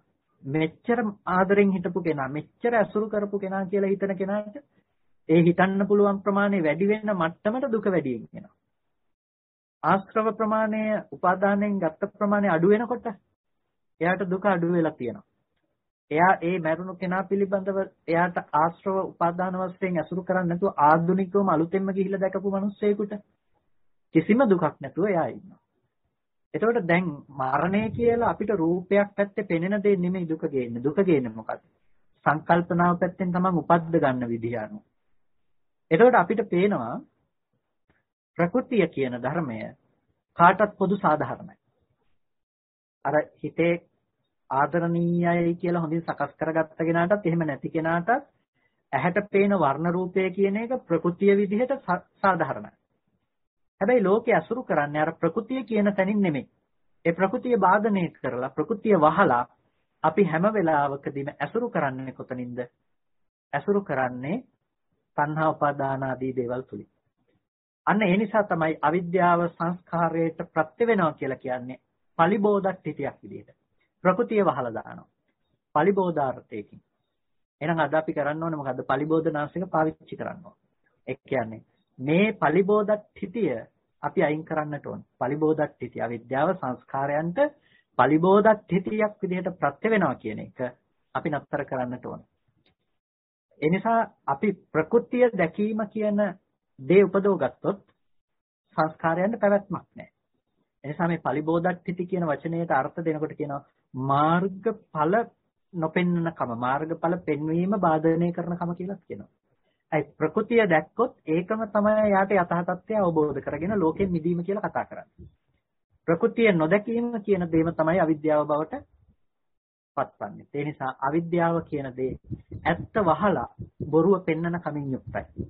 අන්නේ අවිද්‍යාවේ තියෙන ඇත්ත වහනවා කියන කම තමයි පලිබෝධට්ටි කියලා කියන්නේ. එතකොට අපි නිකන් අවිද්‍යා පත්‍යා සංඛාරා කියලා කිව්වට අවිද්‍යාව නිකම්ම සංස්කාරයට ප්‍රත්‍ය වෙලා නෙමෙයි. මෙන්න මේ පලිබෝධට්ටියක් විදිහට අවිද්‍යාව සංස්කාරයට ප්‍රත්‍ය වෙලා තියෙනවා. සංයෝගට්ටියක් විදිහට වගේම පලිබෝධට්ටියක් විදිහට අවිද්‍යාව සංස්කාරයන්ට ප්‍රත්‍යවීම කියන දේ सिद्ध කරනවා. ඒ වගේම සමුදයට්ටි. එතකොට මේ අවිද්‍යාව සංස්කාරයන්ට ප්‍රත්‍ය වෙනවා සමුදයට්ටියක් විදිහට. සමුදයක් තිති. සමුදය කියලා කියන්නේ දැන් අපි දන්නවා දුක්ඛ සමුදය. දුක උපදවනවා කියන දේ, දුක හට සකස් කරනවා කියන දේ. ඒකෝ දැන් ඉපදවීම කියන එක ගැන අපි කතා කළා. කොතනින්ද අපි ඉපදවීම කියන එක කතා කළේ? උපාදක් තිති කියන එකෙන් කතා කළා. අවිද්‍යාව සංස්කාරය උපදවන උපාදක් තිති. දැන් මෙතනදී කතා කරනවා අපි මොකද්ද? සමුදයක් තිති කියලා එකක්. මෙතනදී කතා කරනවා සමුදයක් තිති. මොකද්ද මේ සමුදයක් තිති කියලා කියන්නේ? සමුදයක් තිති කියලා කියන්නේ අවිජ්ජාව සංකාරයේ උත්පාදේමාන උපාදාය පවත්‍යාගේ මූල කාරණක් තේන සමුදය වෙනවා. එතකොට මේ අවිද්‍යාව හැම වෙලාවකදීම සංස්කාරයන්ට ඉපදවීම සඳහා මූල කාරණාව බවට පත් වෙනවා. අපි ඒක ගැන තමයි ගොඩක් වෙලාවට උපාදත් තිතිය තුළ කතා කරන්නේ. එතකොට අවිද්‍යාව සංස්කාරයේ උපදවනවා. ඒක තමයි සමුදය කරනවා කියලා කිව්වේ. ඇත්ත නොදන්නා කම නිසා පුඤ්ඤ අපුඤ්ඤ අනෙජ්ජාදී වශයෙන් සංස්කාර ධර්මයේ උපදවනවා. ඒ උපදවනවා විතරක් නෙමෙයි ප්‍රවෘත්තියටත් ඒක ප්‍රත්‍ය වෙනවා. ප්‍රවෘත්තියටත් ඒක ප්‍රත්‍ය වෙනවා. මෙන්න මේක බොහොම වැදගත් කාරණාවක්. මේ සමුදයක් හිතේ කියන එක තුළ අපිට කතා කරන්නට පුළුවන් වපසරියක් තියෙනවා. මොකද මේ සමුදයක් පිටිය කියලා කියන්නේ අවිද්‍යාව සංස්කාරය උපදවනකොට කොහොමද සංස්කාරය උපදවන්නේ? සංස්කාරය නිකන් ඉපදුවේ නැහැනේ. අවිද්‍යාව සංස්කාරය නිකන් ඉපදුවේ නැහැ. අවිද්‍යාව සංස්කාරය ඉපදවන්න හේතු උනේ යම්කිසි විදිහකට සංස්කාරයන්ට පැවැත්මක් තියෙන්න ඕනේ. පවතින භූමියක් තියෙන්න ඕනේ. පවතින භූමියක් තියෙන්න ඕනේ. මොකද්ද සංස්කාරයන්ගේ පැවැත්මට භූමිය උනේ? යම්කිසි විපාක ධර්මතා ටිකක් තිබුණා. විපාක ධර්මතා ටික ගැනනේ ඇත්ත ඇති හැටියට දැක්කේ නැත්තේ. මේක බොහොම සියුම් කාරණාවක් ඔබ තේරුම් ගන්නට උත්සාහවත් වෙන්න.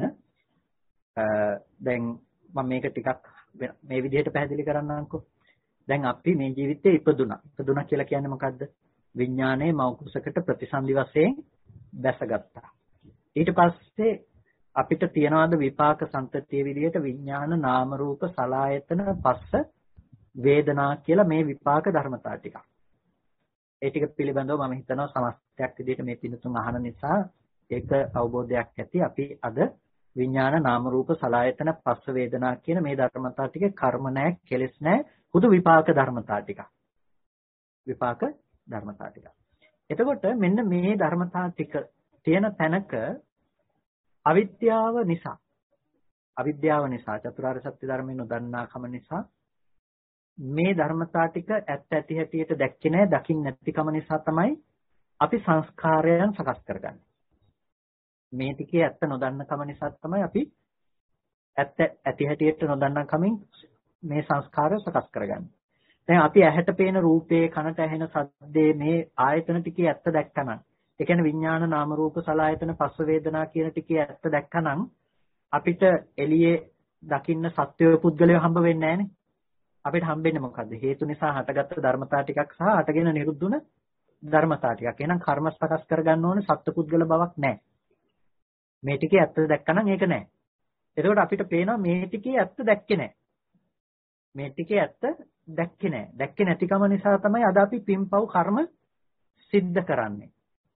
එතකොට දැන් මේ ජීවිතේට මේ විදිහට ආවේයයි ප්‍රතිසන්දි වශයෙන් ආවේයයි. ප්‍රතිසන්දි වශයෙන් ආවේ අතීතෙදිත් මේ විදිහටම අවිද්‍යා සංස්කාර කියන මේ ධර්මතා ටික තිබ්බහින්දනේ. ඒ එතන තිබුණ විපාක ස්කන්ධ ටිකක් පිළිබඳව ඇත්ත නොදන්නා කමින් එතන කර්ම સિદ્ધ කරගත්ත නිසා තමයි විපාක විදිහට මෙතනට ආවේ පුඤ්ඤාභි සංස්කාර පින් පින් સિદ્ધ කරගෙන පින් රැස් කරගෙන තිබ්බ නිසා තමයි මෙතනට මේ ප්‍රතිසන්දි වශයෙන් ආවේ එතකොට දැන් ඒ අවිද්‍යාව අද මේ පුඤ්ඤාභි සංස්කාරය හෝ අපුඤ්ඤාභි සංස්කාරය හෝ කරන තැනට ප්‍රත්‍යවීම කරනවා මොකක් කරන්නේ අර විපාක ටික හදලා විපාක ධර්මතා ටික උපදවලා තියනවා ඒ අවිද්‍යාව සංස්කාරයට ප්‍රත්‍යවීම තුලින් අද අවිද්‍යාව සංස්කාරයන් උපදවගෙන මේක යන්න. දැන් අවිද්‍යාව සංස්කාරයට ප්‍රත්‍ය වෙන එක පටිච්ච සමුප්පාදේ තැන් දෙකක තියෙනවා.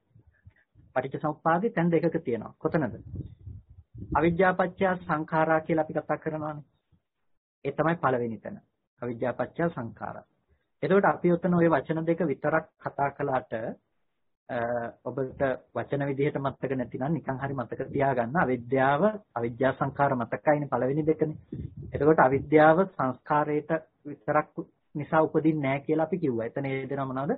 සංහා උපාදාන භව කියලා තව ටිකක් හේදෙනවා. ඒ තමයි අතීත හේතු ටික. මේ ජීවිතේට ප්‍රතිසන්දි වශයෙන් එන්න කලින් තිබුණ අවිද්‍යා සංඛාර කියන ටිකේ තිබුණ තණ්හා උපාදාන භව කියන මේ හේතු ටිකත් එක්ක තමයි මේ ප්‍රතිසන්දි වශයෙන් ආවේ මේ එතකොට එතන අවිද්‍යා සංඛාර කියන එක කියන පළවෙනි තැන තමයි අවිද්‍යාපච්චය සංඛාරා කියලා අපි කියන පළවෙනිම තැන. ඊට පස්සේ වර්තමාන විපාක පහ මොනවද වර්තමාන ඵල පංචකය විඥාන නාම රූප සලායතන පස්ස වේදනා කියන ටික වර්තමාන විපාක පංචකය. වර්තමානයේ ආපහු තියෙනවා හේතු පහක්. හේතු පහ ගන්න. එතන තමයි දෙවෙනි තැන අවිද්‍යාව සංස්කාරයට ප්‍රත්‍ය වෙන්නේ. මොකද වර්තමානයේ තියෙන විපාක මේ හේතු පහ. අපි අද අංග 12ක පටිච්චසමුප්පාදේ නම් කතා කරන්නේ වේදනාපච්චය තණ්හා කියලානේ. අන්න එතෙන්ටම එකතු වෙනවා නිකම්ම තණ්හා කරන්නේ අපි. නිකම්ම කඩාගෙන වැටුණා වගේ වේදනාවක් ඇති වෙච්ච ගමන් තණ්හා වෙනවා කියලා එකක් වෙන්නේ නෑ. වේදනාපච්චය තණ්හා කියන එක නිකම්ම තණ්හා වෙන්නේ නෑ. වේදනාව ගැන ඇත්ත නොදන්නාකම නිසා තමයි තණ්හාව උපදින්නේ. එහෙනම් අවිද්‍යාව එතනදී ප්‍රත්‍ය වෙනවා. එතකොට තණ්හාව උපදින්නේ අවිද්‍යාවෙන් කර්ම රැස් කර ගැනීමක් කළා. එතකොට එතන අපි තණ්හා උපාදාන භව කියලා තුනක් විතරක් කතා කළාට එතන හේතු පහක් තියෙනවා. මොනවාද හේතු පහ? අවිද්‍යා සංඛාර තණ්හා උපාදාන භව. අතීත හේතු ටික වගේම වර්තමාන හේතු ටික තමයි අවිද්‍යා සංඛාර තණ්හා උපාදාන භව කියන ටික. ඔය ටික නිසා තමයි අනාගතේට නැවත විඥාන නාම රූප සලආයතන පස්ස වේදනා කියන නැවත විපාක සම්පතියක් හදලා දෙන්නේ. ඔය වර්තමාන තියෙන ඔය හේතු ටික නිසා. එතකොට දැන් අවිද්‍යාව සංස්කාරයට ප්‍රත්‍ය වෙනවා කියලා කියනකොට පින්නතුනේ අපිට සිද්ධ වෙන ඔය තැන් දෙක ගැනම කතා කරන්නේ. අපිට සිද්ධ වෙනවා ඔය තැන් දෙකම දෙක ගැනම කතා කරන්නේ. ඒකයි සමුදයක් තිති කියන එකෙන් අපි කතා කරන්නේ. සමුදයක් තිති කියනකොට එතකොට අවිද්‍යාව සංස්කාරයන් උපදවමින් සංස්කාරයන්ට සමුදේ වීම කරනවා. අවිද්‍යාව සංස්කාරයන් උපදවමින් මේක කරනවා. ඊට පස්සේ පවත්‍යාච මූල කාරණට්ටේ ප්‍රවෘත්තියට මූල කාරණේ. ප්‍රවෘත්තිය කියලා කිව්වේ මොකද්ද? අපි ඉස්සෙල්ලා කිව්වා පවත්තති දැන් ප්‍රවෘත්තිය කියනකොට මේ විපාක ස්කන්ධ ධර්මතා ටිකක් තමයි ප්‍රകൃතියෙම පවතින ස්වභාවය කියලා.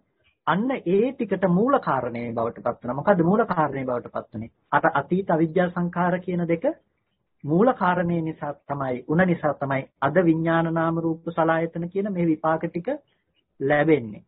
දැන් මොහොතක් මොහොතක් පාසා ඇසේ ප්‍රසාද රූප උපදවමින් මේ විඥානයේ මේ කය ඇසුරු කරමින් පවතින්නේ මේ ප්‍රතිසන්දි වශයෙන් ආපු නිසා. එතකොට මේක මරණාසන්න තැන දක්වාම මේ කියන්නේ මේ භවයේ සිඳන තැන ජීවිතේන්ද්‍රිය සිඳන තැන දක්වාම මේක මේ විදිහට නැවත නැවත උපදවනවනේ. ඇයි උපදවන්නේ? අර අතීත හේතු ටික නිසා මේකට මේ විඥානයේ විඥානයේ මෞකසකට ප්‍රතිසන්දි වශයෙන් දැසගත්තා. එතකොට අද මේ නැවත නැවත මේ ප්‍රසාද රූප සකස් කරමින් මේ ප්‍රවෘත්තිය හදන්න මූල කාරණේ බවට පත්ුනේ මොකද්ද? ඒ මූල කාරණේ බවට පත්ුනේ අවිද්‍යාව සහ සංස්කාරයමයි. එතකොට මේ මූල කාරණේ බවට අවිද්‍යාව සහ සංස්කාරයේ පත් වෙමින් තමයි සමුදයක් පිටියක් බවට පත්ුනේ. ඒ වගේම අද දවසේදී අවිද්‍යාවට අවිද්‍යාව නිසා මේ විපාක ධර්මයේ ඇත්ත නොදන්නාකම නිසා සංස්කාරය නැවත නැවත උපදවනවා. අවිද්‍යාව ඍජුවමත් සංස්කාරයේ උපදවමින් ප්‍රත්‍ය වෙනවා. ඒ වගේම මේ සංස්කාරයේ ඉපදවීම සඳහා මේ ප්‍රകൃතියට මූල කාරණේ වීමෙනුත් අවිද්‍යාව සංස්කාරයට ප්‍රත්‍ය වෙනවා. ඒතකොට මේ සමුදයක් තිති කියන එක ටිකක් අපිට ඊට වඩා ගැඹුරින් අපිට සාකච්ඡා කරන්නට තියෙන කාරණාවක් ඒක. සාමාන්‍ය වශයෙන් තේරුම් ගන්න මේ දෙපැත්තකින් ප්‍රත්‍ය වෙනවා. පටිච්චසමුප්පාදේ අවිජ්ජා පත්‍ය සංඛාරා කියන කොටත් එතනත් ප්‍රත්‍ය වෙනවා. වේදනා පත්‍ය තණ්හා කියන තැන වේදනා ප්‍රත්‍ය නිකම්ම තණ්හාව ඇති වෙන්නේ නැහැ. එතනත් අවිජ්ජා සංඛාරය යෙදිලා තමයි තණ්හාව ඇති වෙන්නේ. ඔය තැන් දෙකේදීම අවිද්‍යාව සංස්කාරයන්ට ප්‍රත්‍ය වෙනවා අර මුලින් අවිජ්ජා පත්‍ය සංඛාරා කියපු තැන ප්‍රත්‍ය වෙලා තමයි මේ ප්‍රතිසන්දි වශයෙන් විඥානයේ මෞකසකට ආවේ ඔය හේතු ටිකේ අද ඔය විපාකේ ඇත්ත දන්නේ නැති අවිද්‍යාව නිසා තමයි අද කර්ම රැස් කරන්නේ. එතකොට අවිද්‍යාව සංස්කාරයකට ප්‍රත්‍ය වුණා මොකක් කරමින්ද මේ ප්‍රകൃතිය හදන්න. අද මේ තියෙන මේ මාට්ටම හදන්න. මේ මට්ටමේ ඇත්ත නොදන්නා අවිද්‍යාව සංස්කාරයටපත් වෙලා ආය ආයෙත් කර්ම සිද්ධ කරගන්නවා. සරල වශයෙන්ම ඔය තැන් දෙකේදී වෙන්නේ ඔය කාරණා දෙක ඒ දෙක මතක තියාගත්තා නම් හරි සමුදයක් තිති. ඊට පස්සේ හේතුත්ථಿತಿ සහ පච්චයත්ථಿತಿ කියලා තව කාරණා දෙකක් තියෙනවා. අවිද්‍යාව සංස්කාරයට හේතුවක් විදිහට ප්‍රත්‍ය වෙනවා. අවිද්‍යාව සංස්කාරයට ප්‍රත්‍යක් විදිහටත් මේක ප්‍රත්‍යවීම සිද්ධ කරනවා. හේතුවක් විදිහට කියලා කියන්නේ මේ අවිද්‍යාව සංස්කාරයේ ඉපදවීම සඳහා හේතු වෙනවා වගේම ඒ සංස්කාරයන්ගේ පැවැත්ම සඳහා හේතු වෙනවා. ඒ කියන්නේ ජනක ප්‍රත්‍යයෙන් සහ උපස්තම්භක ප්‍රත්‍යයෙන් ප්‍රත්‍ය වෙනවා කියන එක. ඒ කියන්නේ මේක අවිද්‍යාව සංස්කාරයේ උපදවනවා උපන්නා වූ සංස්කාර ධර්මයන්ගේ පැවැත්මටත් ප්‍රත්‍ය වෙනවා. දැන් මේ කතා කළේ අවිද්‍යාව පත්‍යා සංඛාරා කියනකොට අවිද්‍යාව සංස්කාරයන්ට මේ විදිහට ප්‍රත්‍ය වෙනවා. සංස්කාරයන්ට ප්‍රත්‍ය වෙනකොට මෙන්න මේ වගේ විවිධ ආකාරයන්ගෙන් තමයි මේ ප්‍රත්‍ය වීම සිද්ධ කරලා තියෙන්නේ. එනිසා දැන් නිකම්ම අපි පටිච්ච සමුප්පාදය කියනකොට අවිද්‍යාපච්චය සංඛාරා කිව්වා කියලා අවිද්‍යා ප්‍රත්‍යයෙන් සංස්කාරය උපදිනවා කිව්වා කියලා අපිට නිකම්ම සංස්කාරය ඉදීම දකින්න පුළුවන් කමක් නෑ. මෙන්න මේ වගේ ප්‍රත්‍ය වීම තුල තමයි සංස්කාරයන්ට ප්‍රත්‍ය වීම කියන දේ සිද්ධ වෙන්නේ. ඒ නිසා නිකම්ම මේ පුඤ්ඤ අපුඤ්ඤ ආනෙජ්‍ය ආදී වශයෙන් ඇති කරගත්ත සංස්කාරය හටගත්තේ නැහැ. මේ විදිහට විවිධ ආකාරයන්ගෙන් ප්‍රත්‍ය වේලා තමයි මේ කුසල අකුසල වශයෙන් රැස් කරගත්තේ.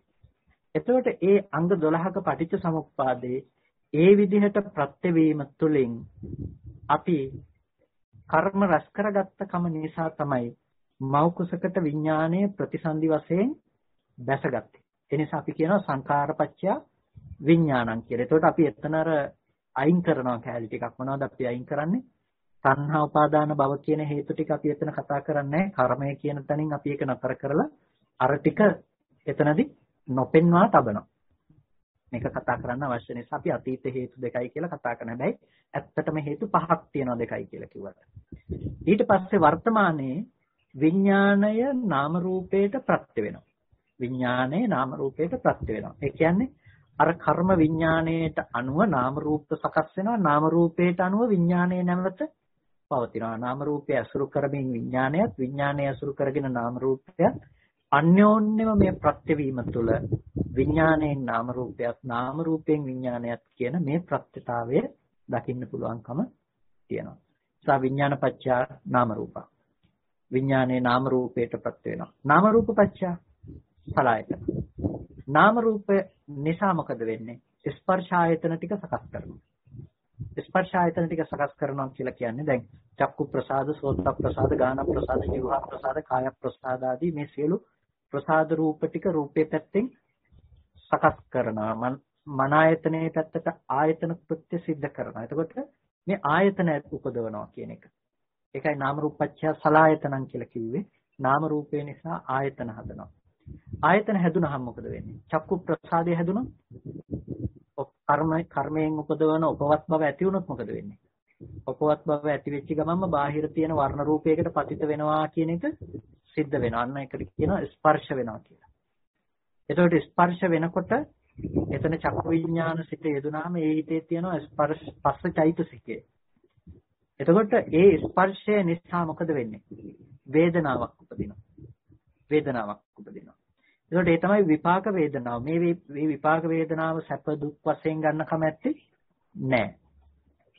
සැප දුක් වශයෙන් ගන්න කම නැහැ. උපේක්ෂා සහගතයි. එතකොට මෙන්න මේ විපාක ධර්මතා ටික විපාක උපේක්ෂා සහගත වේදනාදී පිළිබඳව තමයි නැවත අවිද්‍යාවෙන් සංස්කාරය කළ කර්ම સિદ્ધ කරගෙන ආපහු තණ්හා උපාදාන වශයෙන් අපි හැසිරෙන්නේ. තණ්හා කරන්නේ ඒකට. තණ්හා කරන්නේ නිකම්ම නෙමෙයි අවිද්‍යාවෙන් ආශ්‍රවයන්ගෙන් අර ධර්මතා ටික ඇසුරු කරන කම නිසා තමයි අපි තණ්හා කරන්නේ. ඒ නිසා තමයි අපි දැඩිව ග්‍රහණය කරගන්නේ තණ්හා උපාදාන. ඒ නිසා තමයි අපි භවය සකස් කරගන්නේ. එතකොට ඒ භවය සකස් කරගන්න නිසා තමයි අපි නැවත જાතියට පත්වන්නට පුළුවන්කම තියෙන්නේ. ಜಾතිය නිසා තමයි උපදින නිසා තමයි ජරා මරණ දුක වෙන්නේ. විඥාන නාම රූප සලආයතන පස්ස වේදනා කියන ධර්මතා ටික ඔක්කොම මේ දුක තැවරී තියෙන ධර්මතා. එතකොට මේක පුද්ගල භාවයෙන් අසුරු කරනකොට මොකද වෙන්නේ? පුද්ගලයෙකුට එන දුක අපිට හම්බ වෙනවා. ධර්මතාවයන්ගේ දිරීම තියෙන ධර්මතාවයන්ගේ දිරීම පුද්ගලයෙකුගේ ජරාවටපත් වීම කියලා අපිට විඳින්න පුළුවන්කම තියෙනවා. මෙන්න මේ විදිහට පටිච්චසමුප්පාදයේ මේ පැවැත්ම දකින්න පුළුවන්කම තියෙනවා.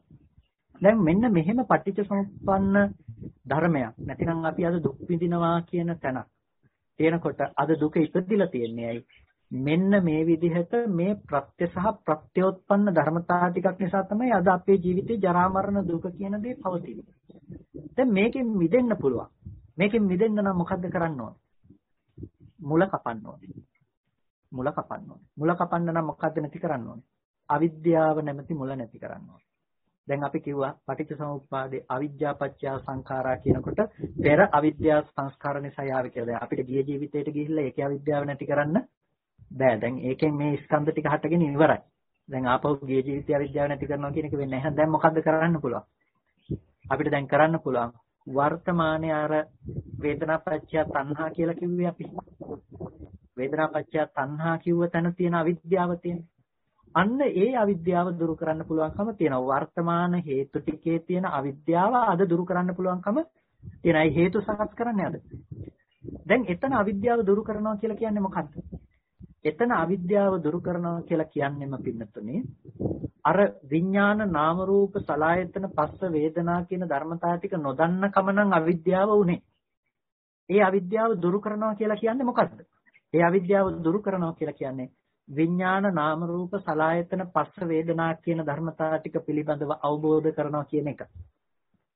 විඥාන නාම රූප සලායතන පස්ස වේදනා කියන ධර්මතා ටික අවබෝධ කරනවා කියන එක. ඒ කියන්නේ අපි කර්ම સિદ્ધ කරගන්නේ මොකකද? කර්ම સિદ્ધ කරගන්නේ විඥාන නාම රූප සලායතන පස්ස වේදනා කියන ඔය භූමිය තමයි අපි මේ කර්ම රැස් කරගන්නවා කියන දේ කරන්නේ. දැන් භූමිය නැහැ. ඇයි යා විඥාණය නාම රූප සලායතන පස්ස වේදනා කියන ටිකේ ඇත්ත දකිනවා. හේතු නිසා හටගත්ත විදියත් හේතු නැති වෙනකොට නැති වෙනවා කියන එකක් දකින නිසා ඒ ධර්මතා ටික ගැන සත්වයේක්ක පුද්ගලයෙක්ක කියලා බලනවා කියන මෝඩකම එතන යෙදෙන්නේ නැහැ. ඒ නිසා එයාට අවිද්‍යාව නිරුද්ධ වෙනකොට මොකද්ද වෙලා තියෙන්නේ? කර්ම රැස් කරගන්න පුළුවන්කම නැහැ සංස්කාර නිරුද්ධ වෙලා. සංස්කාර නිරුද්ධ වෙනකොට මොකද වෙලා තියෙන්නේ? සංස්කාර නිරුද්ධ වෙනකොට එයාට අනාගතයට අපි හැදෙනවා කියෝ විඥාන නාම රූප සලායතන පස්ස වේදනාදී ඒ සියල්ලම නොහට ගන්න බවට ගිහිල්ලා අනුත්පාද ස්වභාවයකට ගිහිල්ලා. එතකොට ඒ අනුත්පාද ස්වභාවයකට ගියේ මොකක් නිසාද? විඥාන නාම රූප සලායතන පස්ස වේදනා කියන ධර්මතා ටිකේ Nirodhaය සාක්ෂාත් කළ නිසා. Nirodhaය සාක්ෂාත් කළ නිසා. එතකොට ඒ Nirodhaය සාක්ෂාත් කිරීම තමයි අද කරන්නට තියෙන්නේ. ඒකම තමයි අවිද්‍යාවේ Nirodhe. අවිද්‍යාව නිරුද්ධ කළොත් කර්ම නිරුද්ධ වෙනවා. කර්ම නිරුද්ධ වුණොත් අර ටික අනුත්පාදයකට ලක් වෙනවා. අනුත්පාදයකට ලක් වෙන්නෙම මේ පටිච්ච සමුප්පාදයේහි Nirodhe තුලින්ම තමයි. එක පැත්තකින් තියෙනවා ප්‍රතිවේද කළ යුතු Nirodhaයක්. එක පැත්තකින් තියෙනවා ප්‍රතිවේද අවබෝධ කරන්න තියෙන Nirodhaයක්. තව පැත්තකින් තියෙනවා අනුත්පාද Nirodhaයක්. මේ මේ දෙක ඉතාම විශේෂ වැදගත් කාරණා දෙකක්. එක පැත්තකින් තියෙනවා ප්‍රතිවේද කළ යුතු Nirodhaයක් අවබෝධ කරන්න තියෙන එකක්. තව පැත්තකින් තියෙනවා අනුත්පාදයකට ලක් වෙන Nirodhaයක්. අවබෝධ කළ යුතු Nirodhe මොකද්ද? මේ හටගන්න ධර්මය මේ මොහොතින් මොහොත හටගෙන නිරුද්ධ වෙනවා කියලා මේ ධර්මයන්ගේ Nirodhe අවබෝධ කළ යුතුයි. අවබෝධ කරනකොට තමයි ඒ ධර්මයන්ගේ පැවැත්ම හම්බ වෙන්නේ නැත්තේ. එතකොට මොකද වෙන්නේ? අනාගතයේට ඒ ධර්මයන් පිළිබඳව සත්‍ය පුද්ගලයෝ කියලා දැන් ගන්නවා කියන මෝඩකම නොහට ගන්න බවට ගිහිල්ලා. එතකොට අනාගතයේට උපදින්න කර්ම සිද්ධ කරනවා කියන එක නොහට ගන්න බවට ගිහිල්ලා. මේ ස්කන්ධ ධර්මතා ටිකක හට ගැනීම සහ වැයවීම නිරුද්ධ කරන නිසා අනාගතයේට එබඳු ස්කන්ධයක් ප්‍රතිලාභ කරනවා කියන එක නොහට ගන්න බවට ගිහිල්ලා තියෙනවා.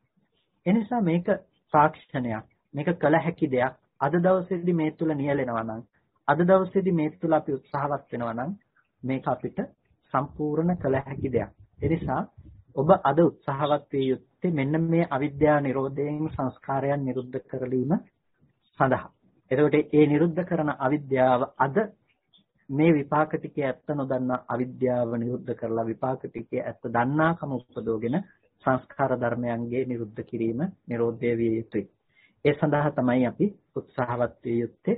ගයි කල්පනා කරගන්න හැම කෙනෙක්ම සද්ධර්ම ශ්‍රවණය කරලා යෝනිසෝ මනසිකාරයේ පවත්තලා සිද්ධ කරගත්ත මේ සියලු කුසල ධර්මයන් අපි මේ වෙලාවෙදී අනුමෝදන් කළ යුතු අයට අනුමෝදන් කරනවා. පළමුවෙන් අපට අර්ථයෙන් ධර්මයෙන් අනුශාසනා කරන අපේ ධර්මාචාර්ය අවසරයි මාං කඩවල සුදර්ශන ස්වාමීන් වහන්සේට අවසරයි මාං කඩවල නන්දරත්න ස්වාමීන් වහන්සේට ස්වාමීන් වහන්සේලා දෙනමතම උතුම් නිවනින් සැනසීම පිණිස මේ කුසලයේ හේතු පාරමිතාවක්ම වේවා කියලා ප්‍රාර්ථනා කරනවා. වගේම සියලු දෙවියෝ පින් සතුටින් සාදුනාදයෙන් අනුමෝදන් වනු ලබත්තා ඉෂ්ඨකාරක ආදී සියලු දෙවියන්ට මේ පින් උතුම් නිවනින් සැනසීම පිණිසම හේතු පාරමිතාවක්ම වේවා කියලා සාදු කියලා දෙවියන්ට පුණ්‍ය අනුමෝදන් සාදු සාදු කුසල ධර්මයන් අපි අනුමෝදන් කරනවා මේ පින්නතුන් නමින්. මේ පරිලෝකීය සියලුම ඥාතීන්ට සියලුම ඥාතීන් මේ පින් සතුටින් සාදුනාදයෙන් අනුමෝදන් වනු ලබත්තා ඥාතීන්ට උතුම් නිවනින් සැනසෙන්නටම මේ කුසලයේ හේතු පාරමිතාවක් වේවා කියලා සාදු කියලා. ඒ වගේම අද දවසේ මේ ධර්ම දේශනාව සංකල්පණය කරන්නට කටයුතු සම්පාදනය කළ මේ පින්වත් සෑම සියලු දෙනාටම සියලු දෙනාටම අපි පුණ්‍යානුමෝදනා කරනවා. හැම දිනාටම නිරෝගී සුවපත් බව චිරජීවනයේ සැලසේවා කායික මානසික සැනසෙල්ල උදා කරගෙන අමා මහ නිවනින් සැනසීම සඳහා මේ කුසලය හේතු පාරමිතාවක්ම වේවා කියලා සාදු කියලා හැමදාම හැම දිනාටම